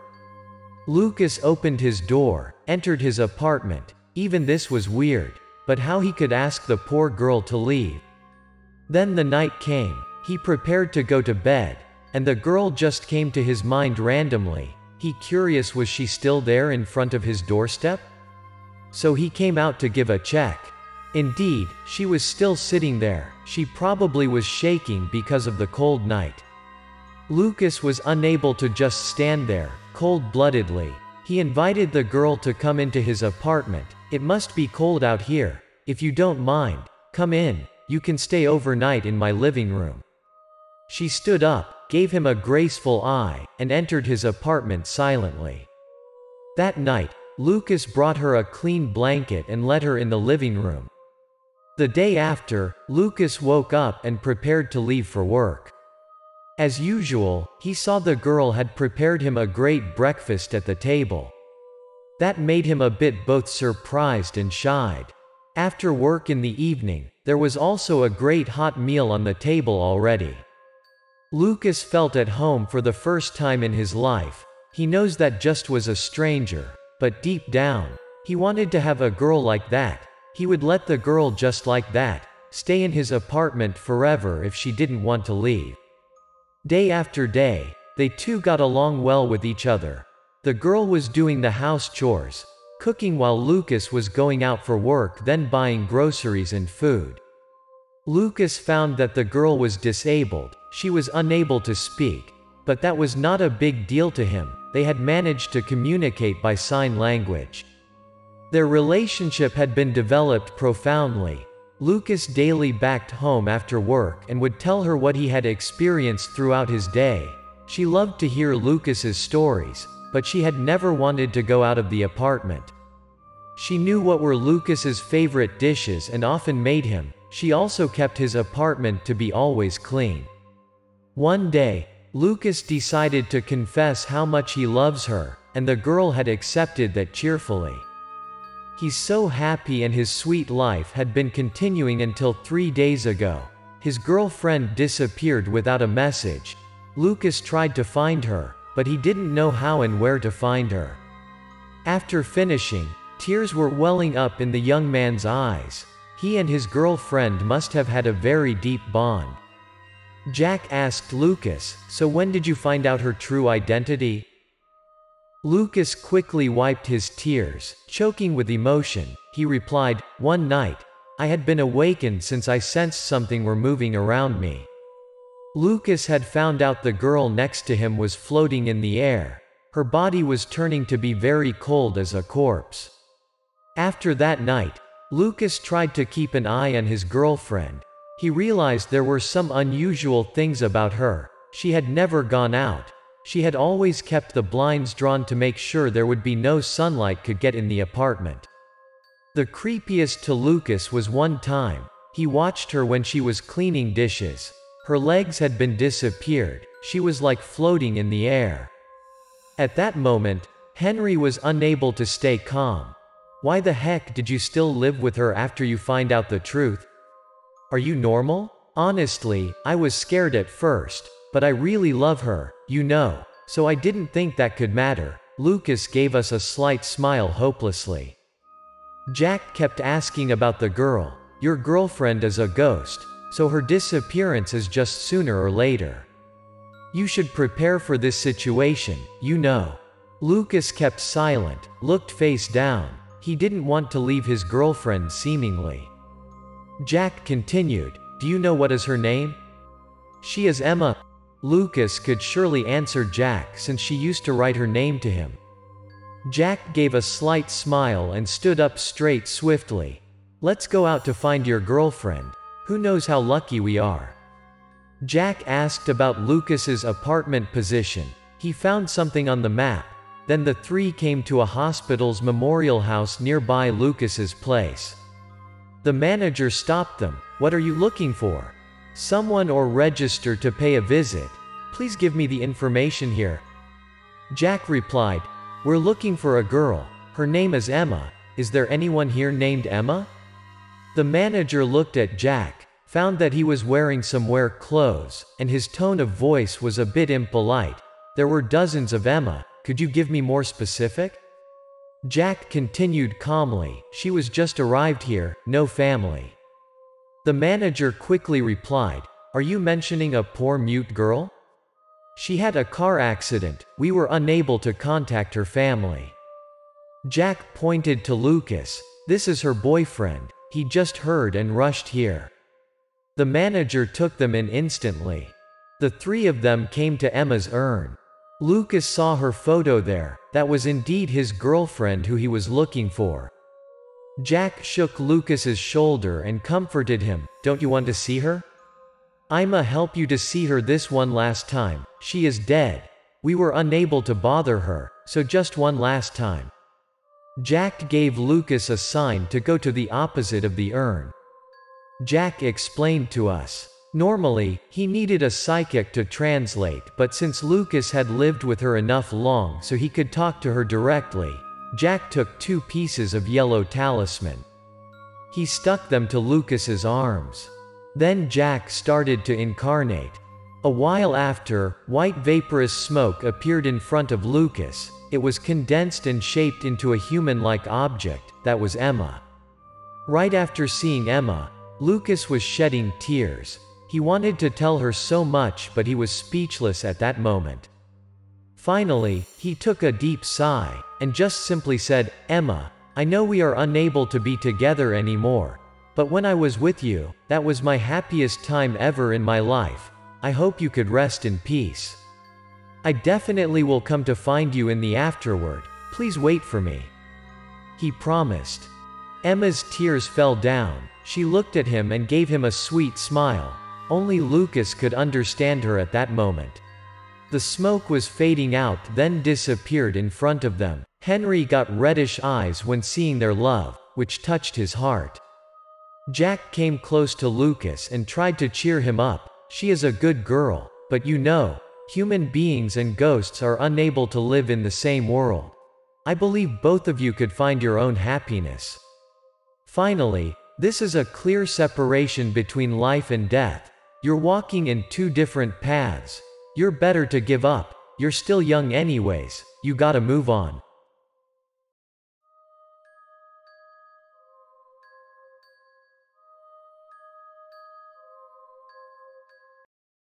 The Bizarre Teddy Bear My name is Henry. I came from West Village. I have left my hometown to go to the city to make a living for years ago. I had met my wife here and we had a child already. I have bought a house and live with my family. My old parents still lived at West Village, so me and my wife had to get back to pay them a visit every year. One day, me and my wife both had a week off, so I drove my wife and my son back to our hometown.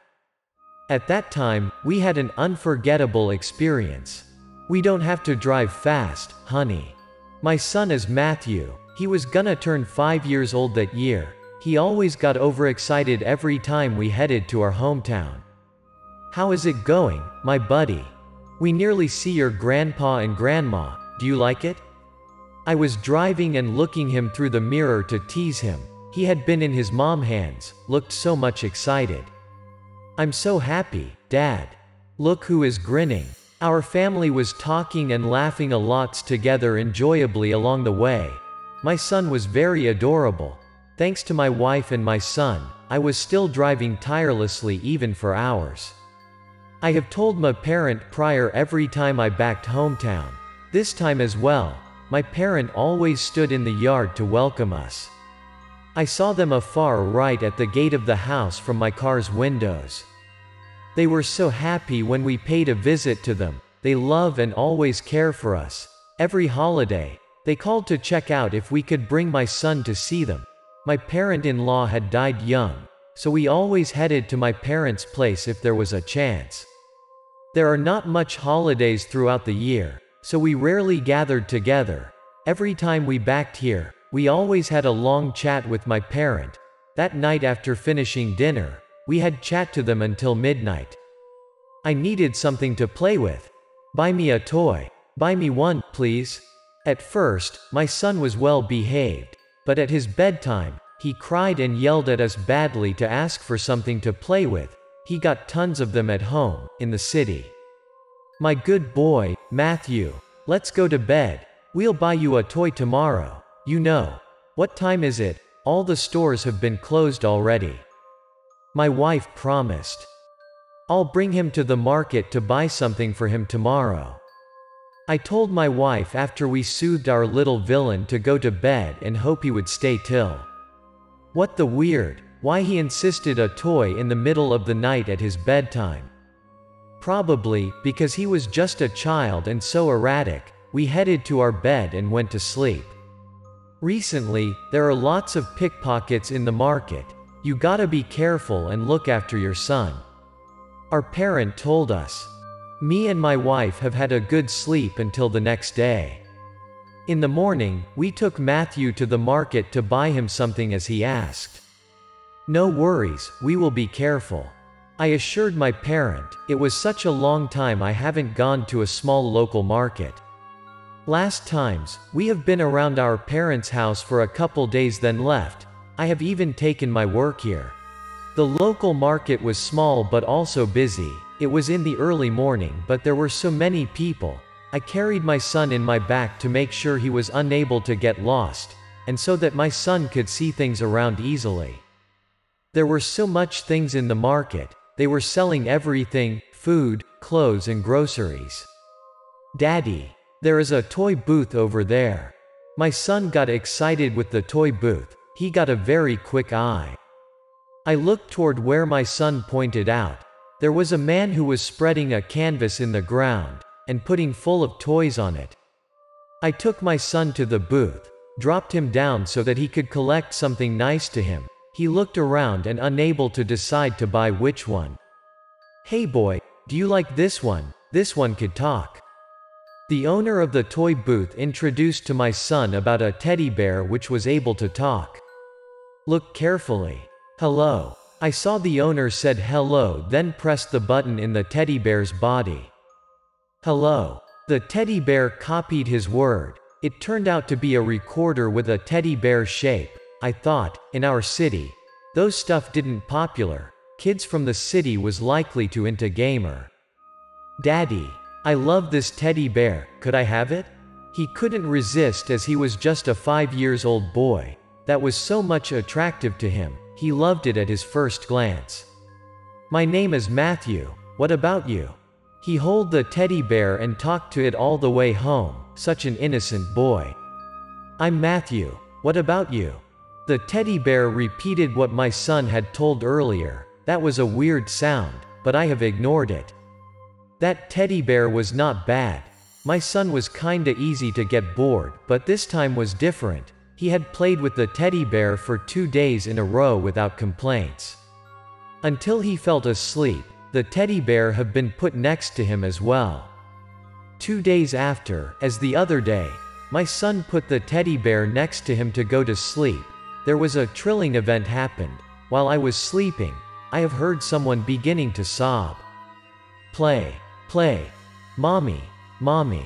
The sound was louder and clearer. I found it started to be weird. I guessed the sound was from the teddy bear, that woke me up. At first, I think my son had been awakened and played with that teddy bear, but when I turned to see him, he was sleeping like a baby, there was just that teddy bear talked to itself. Some. Someone.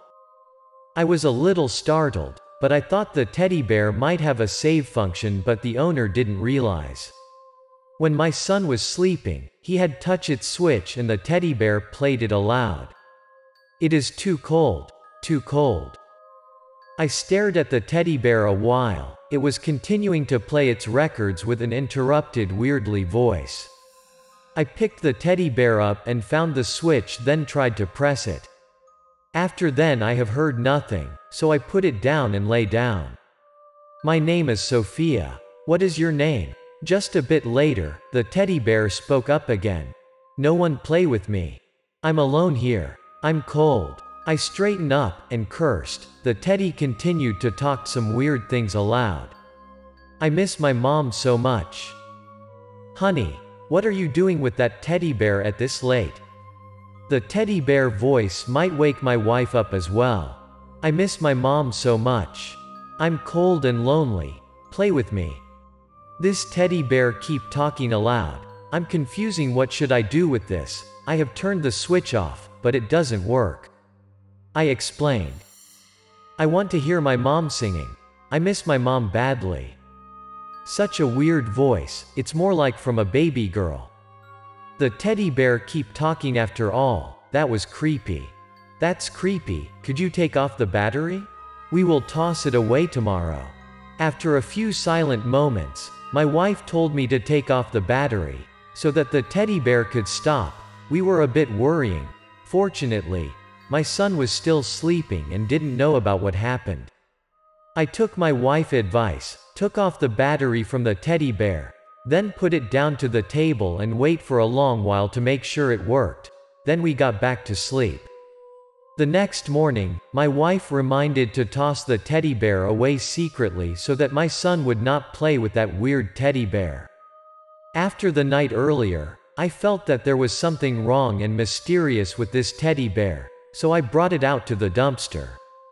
Why you toss the teddy bear away? You just bought it. Looks like my grandson was very into it. My mother asked. This teddy bear has been broken. Last night, it sounded weirdly.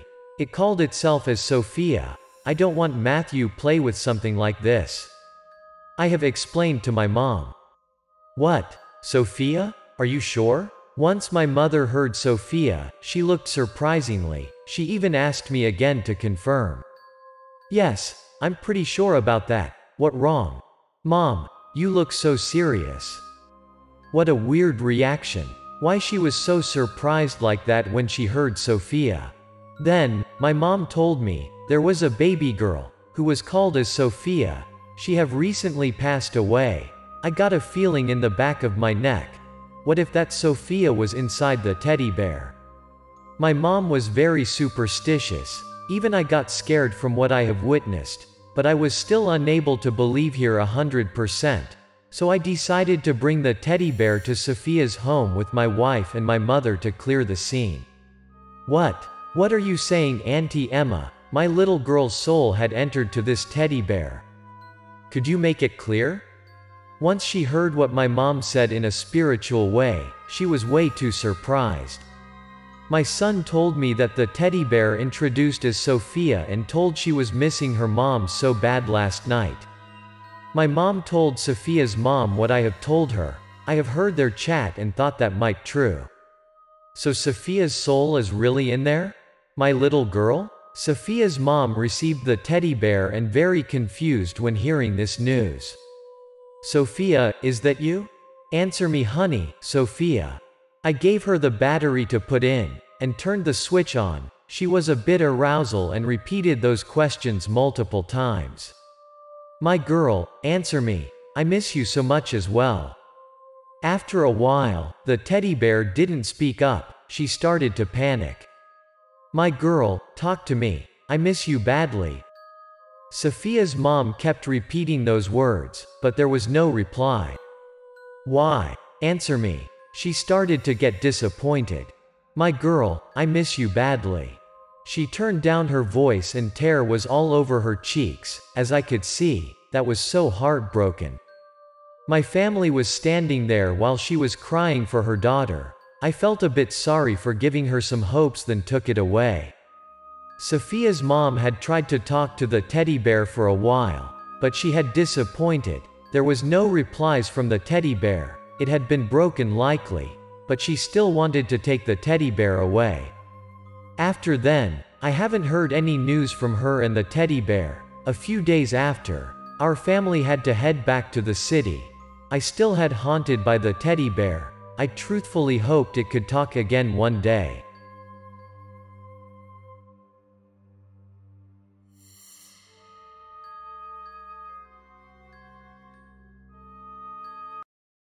Takalash.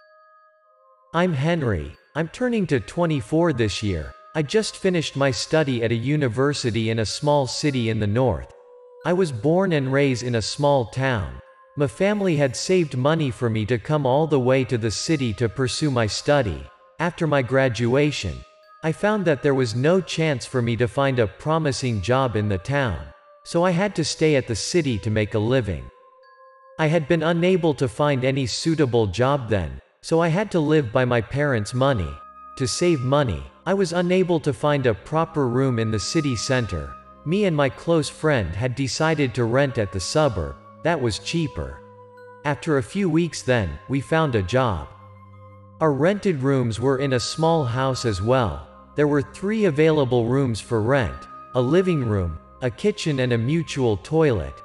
We were all boys so there was nothing uncomfortable. The good thing was the owner didn't live with us. There was another boy at our age at the house. His name is Jack. He always looked mysterious. We used to see him left the house very early in the morning and came home very late. We had no ideas what did he do for a living. Jack didn't look like an extrovert. Living under a roof for nearly a month, but we had barely talked. Why does he wear his sunglasses the whole day? What a weird. Let it go. It is not our business. You gotta be quick or else you're gonna be late at work. I was a bit curious about that guy. Oppositely, my friend didn't give a fuck. Time flied. A few weeks passed by. One day, my friend gave me a call. He would came home late, since he had to join a party with his coworkers, so I didn't have to wait for him for dinner. I finished my dinner then watched TV at the living room. While watching a movie, I heard an open door sound. I turned my head toward the door. I guessed that was my friend, since Jack hadn't left out his room yet that day. A few seconds later, I saw my friend. He closed the door and took his shoes off, his back on the wall. He didn't look well. What happened? Are you sick? Why are you being like that? I asked him since he had leaned back at the door for a while, and his face was so pale. I'm fine, buddy, just a bit discomfort. He spoke up after a long break. I have out drunk, I think, don't worries. He continued, his explanation made so much sense to me, that was normal. He had told me he came to a party earlier with his coworkers. I'm exhausted, don't take your time anymore, I am going to hit the sack.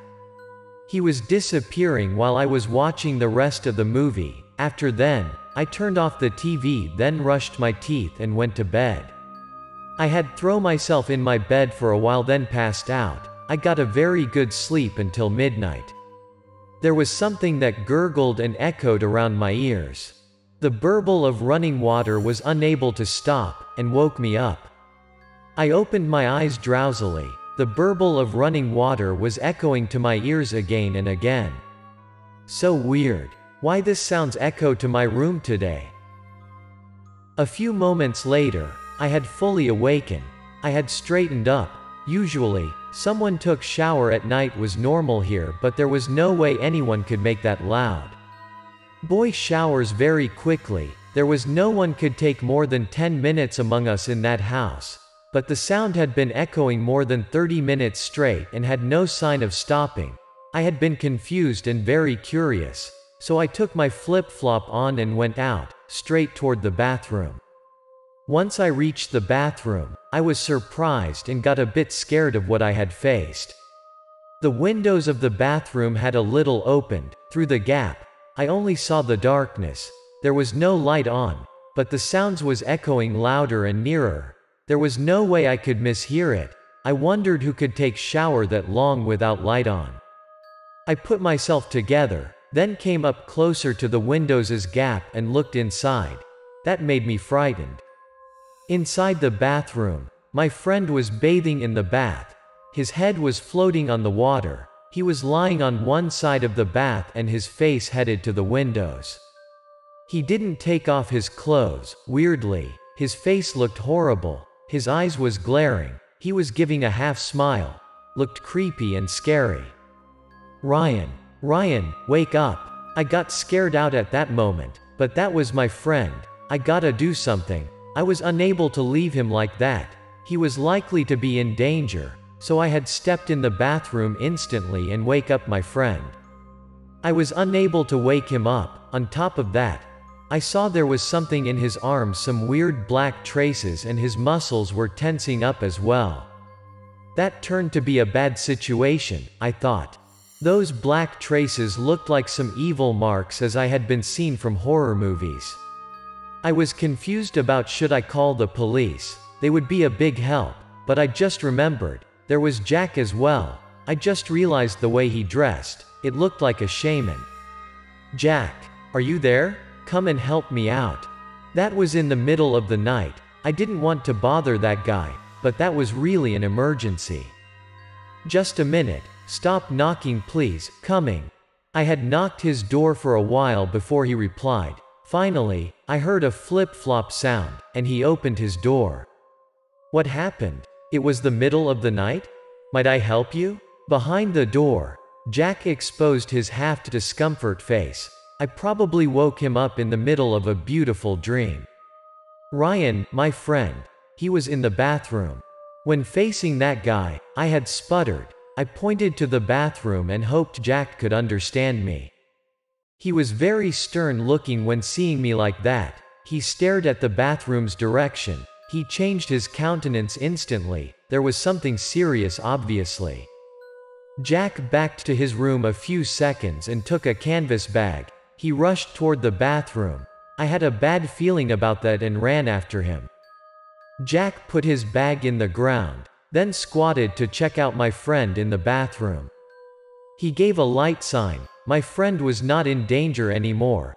I guess, there was probably still a way to save his life. Jack looked so used to this kinda stuff. He gave an observe to my friend a few seconds more, then carefully lifted up my friend's hand. It was too scary to me at that moment. Those black traces which I had seen earlier, were being all over his hands, looked like branches, they all were running to Ryan's heart. Fortunately, you found him at a very right time. He would lose his life if it was a bit late, he is such a lucky boy. Jack was a bit relaxed than earlier. My heart got back to its normal race as well. My friend was not in danger anymore, such a relief. After comforting me, Jack took a yellow rope from his canvas bag, then he tied it around my friend's arms. His movement was like a doctor in the hospital who had tightened my arm to find my vein for a blood examination. He was a real professional. After finishing the tie, Jack continued to take out a small jar from his bag. There was a red liquid inside, it looked like blood but a bit fresher. Jack dipped one of his finger inside the red liquid. Then he draw something in my friend's hand. Probably a talisman as what I had seen in the movies. He took a small stick from the bag out as well. Then he applied a little of that red liquid to the stick. After all, he used the stick to hit my friend's arms multiple times. Demon, please go away. Jack was hitting while yelling those words. He kept hitting and hitting in more than a half of hour. Finally, the magic did happen. Those evil marks got faded out from my friend's arm, then disappeared without a trace. Finally, the yellow rope and the red's talisman got disappeared gradually as well. A black smoke flied out from under my friend's arms. Open those windows, now. Jack turned to me and asked to open the windows near the exist. I quickly followed his lead. Right after I opened the door, the black smoke flied out and got fade into the night. Ryan looked better then, he didn't bear an evil face as earlier. He blinked his eyes a few times and was able to open his eyes. What happened? Why did you guys here at this late? Ryan was surprised when he fully awakened. He still couldn't feel the cold of the water around him. At first he asked why did the two of us was there at that late. Let's get out of the bathroom first, if you keep your body in the water like that, you gotta get sick sooner or later, then ask later. I tended to answer but Jack already spoke up. Answer me. Where did you go and what did you do today? Have you seen something at the river or lake or something like that? You just have been followed by a Takalash. After Ryan dried his body out, Jack seriously asked him. What are you talking about? Takalash? That might be from a load of money in the afternoon. Ryan deduced then murmured something in panic. What money? Let make it clear. I have expelled it from you. But if we don't find the root cause, it might come after you again. In the afternoon, I passed by a lake nearby my office. I saw a load of money from afar. Ryan told us the whole thing. Once he saw a load of money, he came up close to pick up. But it turned out just a load of Joss paper, so he put it down and came to the company's party. I thought that was simply someone wanted to give me a franc with those Joss paper. After the party, I felt not good at all, so I had hit the sack. but a while after, I felt very hot so I took a shower to cool down my body. But, what was happening inside the bathroom? Ryan didn't have a glue. Alright. Just back to your room and take a good rest, tomorrow we will come to check out the lake. Jack arranged, for sure I didn't have to come with them to the lake the day after. The day after, Ryan and Jack came to the lake. Jack brought along a yellow piece of paper, there was some red weird letters in there, that was probably a talisman. My friend told me that Jack had burned the talisman. Takalash. My friend didn't tend to harm you. Please go easy on him and don't ever hurt anyone again, or else you're gonna be punished. He pinned the talisman between his two fingers then lifted it up and murmured somethings. Jack tossed the piece of yellow paper to the water, he had repeated that action six times. Suddenly, there was a black shadow appeared under the water, looked like human but he didn't come out of the water. Those pieces of yellow paper burned to dust, the black shadow also faded out under the lake. That's enough. We gotta go before the Tikalosh change its mind. Jack asked Ryan to leave that place quickly. My friend ran after Jack, they hurriedly left the lake. 1. After then, my friend avoided to stop near by any of lakes, rivers or even streams as much as possible, that was haunted him badly. After that event, we got closer to Jack, he turned out to be a very interested guy, and very open-minded. The mysteries about Jack's job and his status was still a blank for us, we could realize somehow but we knew that we shouldn't ask too much.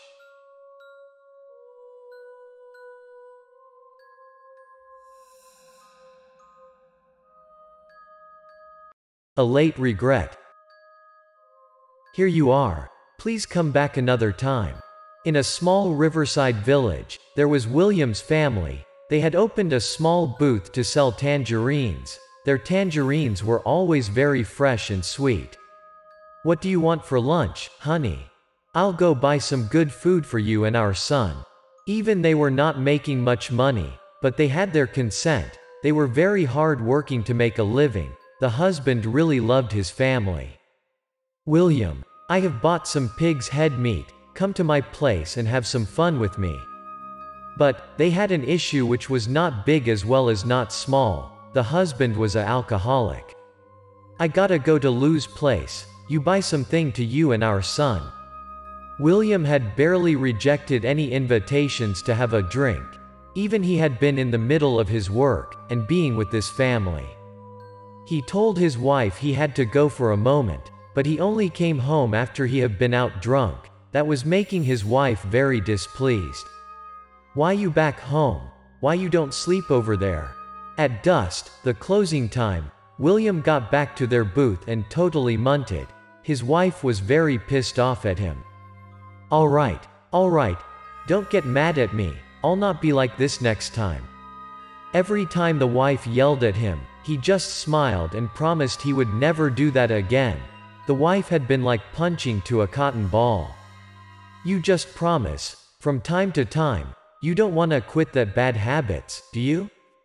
She got used to those promises, she kept muttering during cleaning the booth. Mr. William just kept smiling. The wife kept her anger until the late night, even when they had been laying down in their bed already. Keep drinking. Those alcohols will kill you sooner or later. She sounded like a broken record every time he wasted, but the husband didn't take those words, he just knocked his head, gave a smile then forgot everything in the next morning. I'ma hit the sack now, I don't want to talk anymore. You gotta take our son to school on time in the morning, tomorrow. It was all like water off a duck's back, so the wife gave up on him. To be honest, the wife was really a kick-ass wife. She could handle everything at the Tangerines booth day to day. The husband duties were only taking his son to school. Sometimes, he helped in delivery if there were any orders. Long time no see, buddy. The day after, once the husband backed after taking his son to school as usual, he tended to head back home then went to the booth to help his wife. he saw an old friend of him who had been moved to another place, came to his house. To him, he obviously set up a table so that they could have some drinks together. How are your business lately? That was his childhood friend who he hadn't kept in touch for a very long time.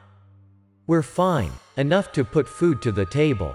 The two friends had chatted heaven and earth. Time flies when they were having fun. The two friends kept drinking, one drink and another drink until they got out drunk. The sunset had come already, it was at 6 p.m., and that was bad.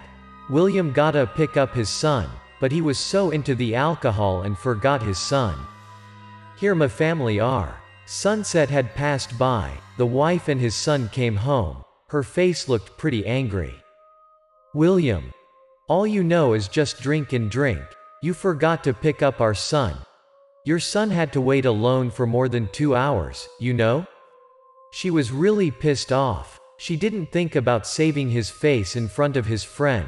Frankly, at that time, William's behaviors was outrageous. Hmm. Hello there, I gotta go now. You guys seem have family stuff to talk. The husband's friend got embarrassed and wanted to leave. I just didn't notice what time was it. What make you so angry? As the others time earlier, William kept his smiling face and talked to his wife. But this time was really so much to the wife, she walked by him and came to the table. The wife angrily tossed and smashed all of stuff in the table to the ground.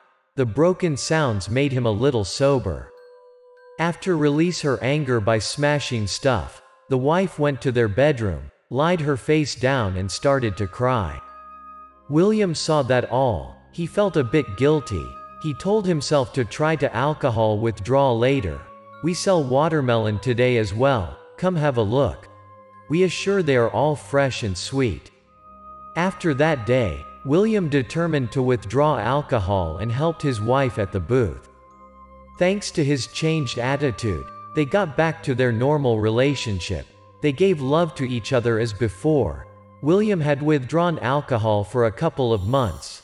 Then he had received a call to come to a high school reunion meeting.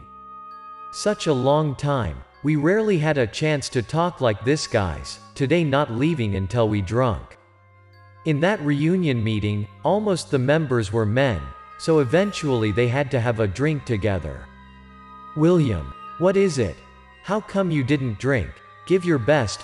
William didn't want to drink at first, but he couldn't reject his friend's offers. Just a cup. I'm withdrawing alcohol. He was unable to keep his cool, so he had his first drink after a few months of withdrawal. But how his friends let him drink just a cup, they were all heavy drinkers, one then another drink poured to his cup. After couples of cups, he turned to the heavy drinker as before, he had back to his old way. Such easy to get back to addiction. Just a moment later, William got wasted. They kept drinking until midnight, William got home in dragging one feet. He felt a bit sorry for his wife, but who knows, he told himself again that was the last time he drunk. He came home with his smiling face as usual, and called his wife out to open the door. That night, the wife had no mood to get angry with him as usual. She looked at her husband with her cold-blooded eyes, that were a look of disappointment. After they laid down in the bed, the wife turned her back to him and started to cry. William heard her crying and wanted to comforted her, but the alcohol got him sleep like a hare shortly. The next day, William had a lie-in until the sun came up too high. He got a headache and achy. He looked at the clock, it was 9 a.m. and his wife wasn't home. William thought his wife might go to the booth already. Once he got out of the bed, his phone rang, he picked up the phone and heard a bad news. William took of his shoes hurriedly and ran his ass off to the hospital. The call was from the hospital nearby. The caller was a nurse or doctor who was working in there. They announced that his wife had an accident when delivering. Honey, you're gonna be fine. His heart likely missed a beat when hearing that, due to his deep slumber. His wife had asked the woman at the vegetable booth next to their tangerines booth then went to deliver and had an accident. Honey. Honey. I'm here. Once he entered the hospital, doctor brought him to see her dead body. He saw her in the deathbed silently in the cold morgue. Her body was covering by a white canvas. Honey, I'm wrong. Please wake up, wake up. Honey. He hoped that was not his wife, but that was his wife, blood was all over her body. Honey. Wake up, open your eyes. At that moment, it was late for William to have a regret. His wife got a serious accident, doctor had given up. He grabbed his wife's body and cried his eyes out, but there was nothing he could take back, he was unable to take the fact, his wife had been left him forever. His wife's death made his world all collapsed. He didn't want to live anymore. He continued to drink and drink day by day. William found that he was unable to take a good care of his son, so he sent his son to his parent at his hometown and made friend with alcohol. He was drinking while holding his wife's photo. At that moment, there was no way he could let his grieving for his wife go. He just drank and slept like a log the whole day. He hoped he could stop thinking about his wife. William took drink after drink. Ironically, even how much he wasted, he still had sorry and grief for his wife. On top of that, his wife was unable to come back to him. Honey, I'm drunk today. Please come back and yell at me. I'll listen to you. I want to hear your voice. I'll take your words. Honey. He picked up his wife's photo one again and started to talk rubbish. Honey, get back to me and smash those cups so that I'm unable to drink anymore. Suddenly, the cup next to William had been moved. The cup had been lifted up, unnaturally, that made William a bit sober. The cup looked like had been lifted by an invisible, then felt down and broken loudly. That was as same as the last time, when his wife smashed it up. While William was confusing, he had a hunch that there was someone standing behind his back. He turned back his head and saw his wife there. Honey, honey.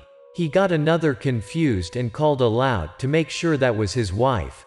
His cheeks were covering by tears. Honey, is that you? You back to yell at me, don't you?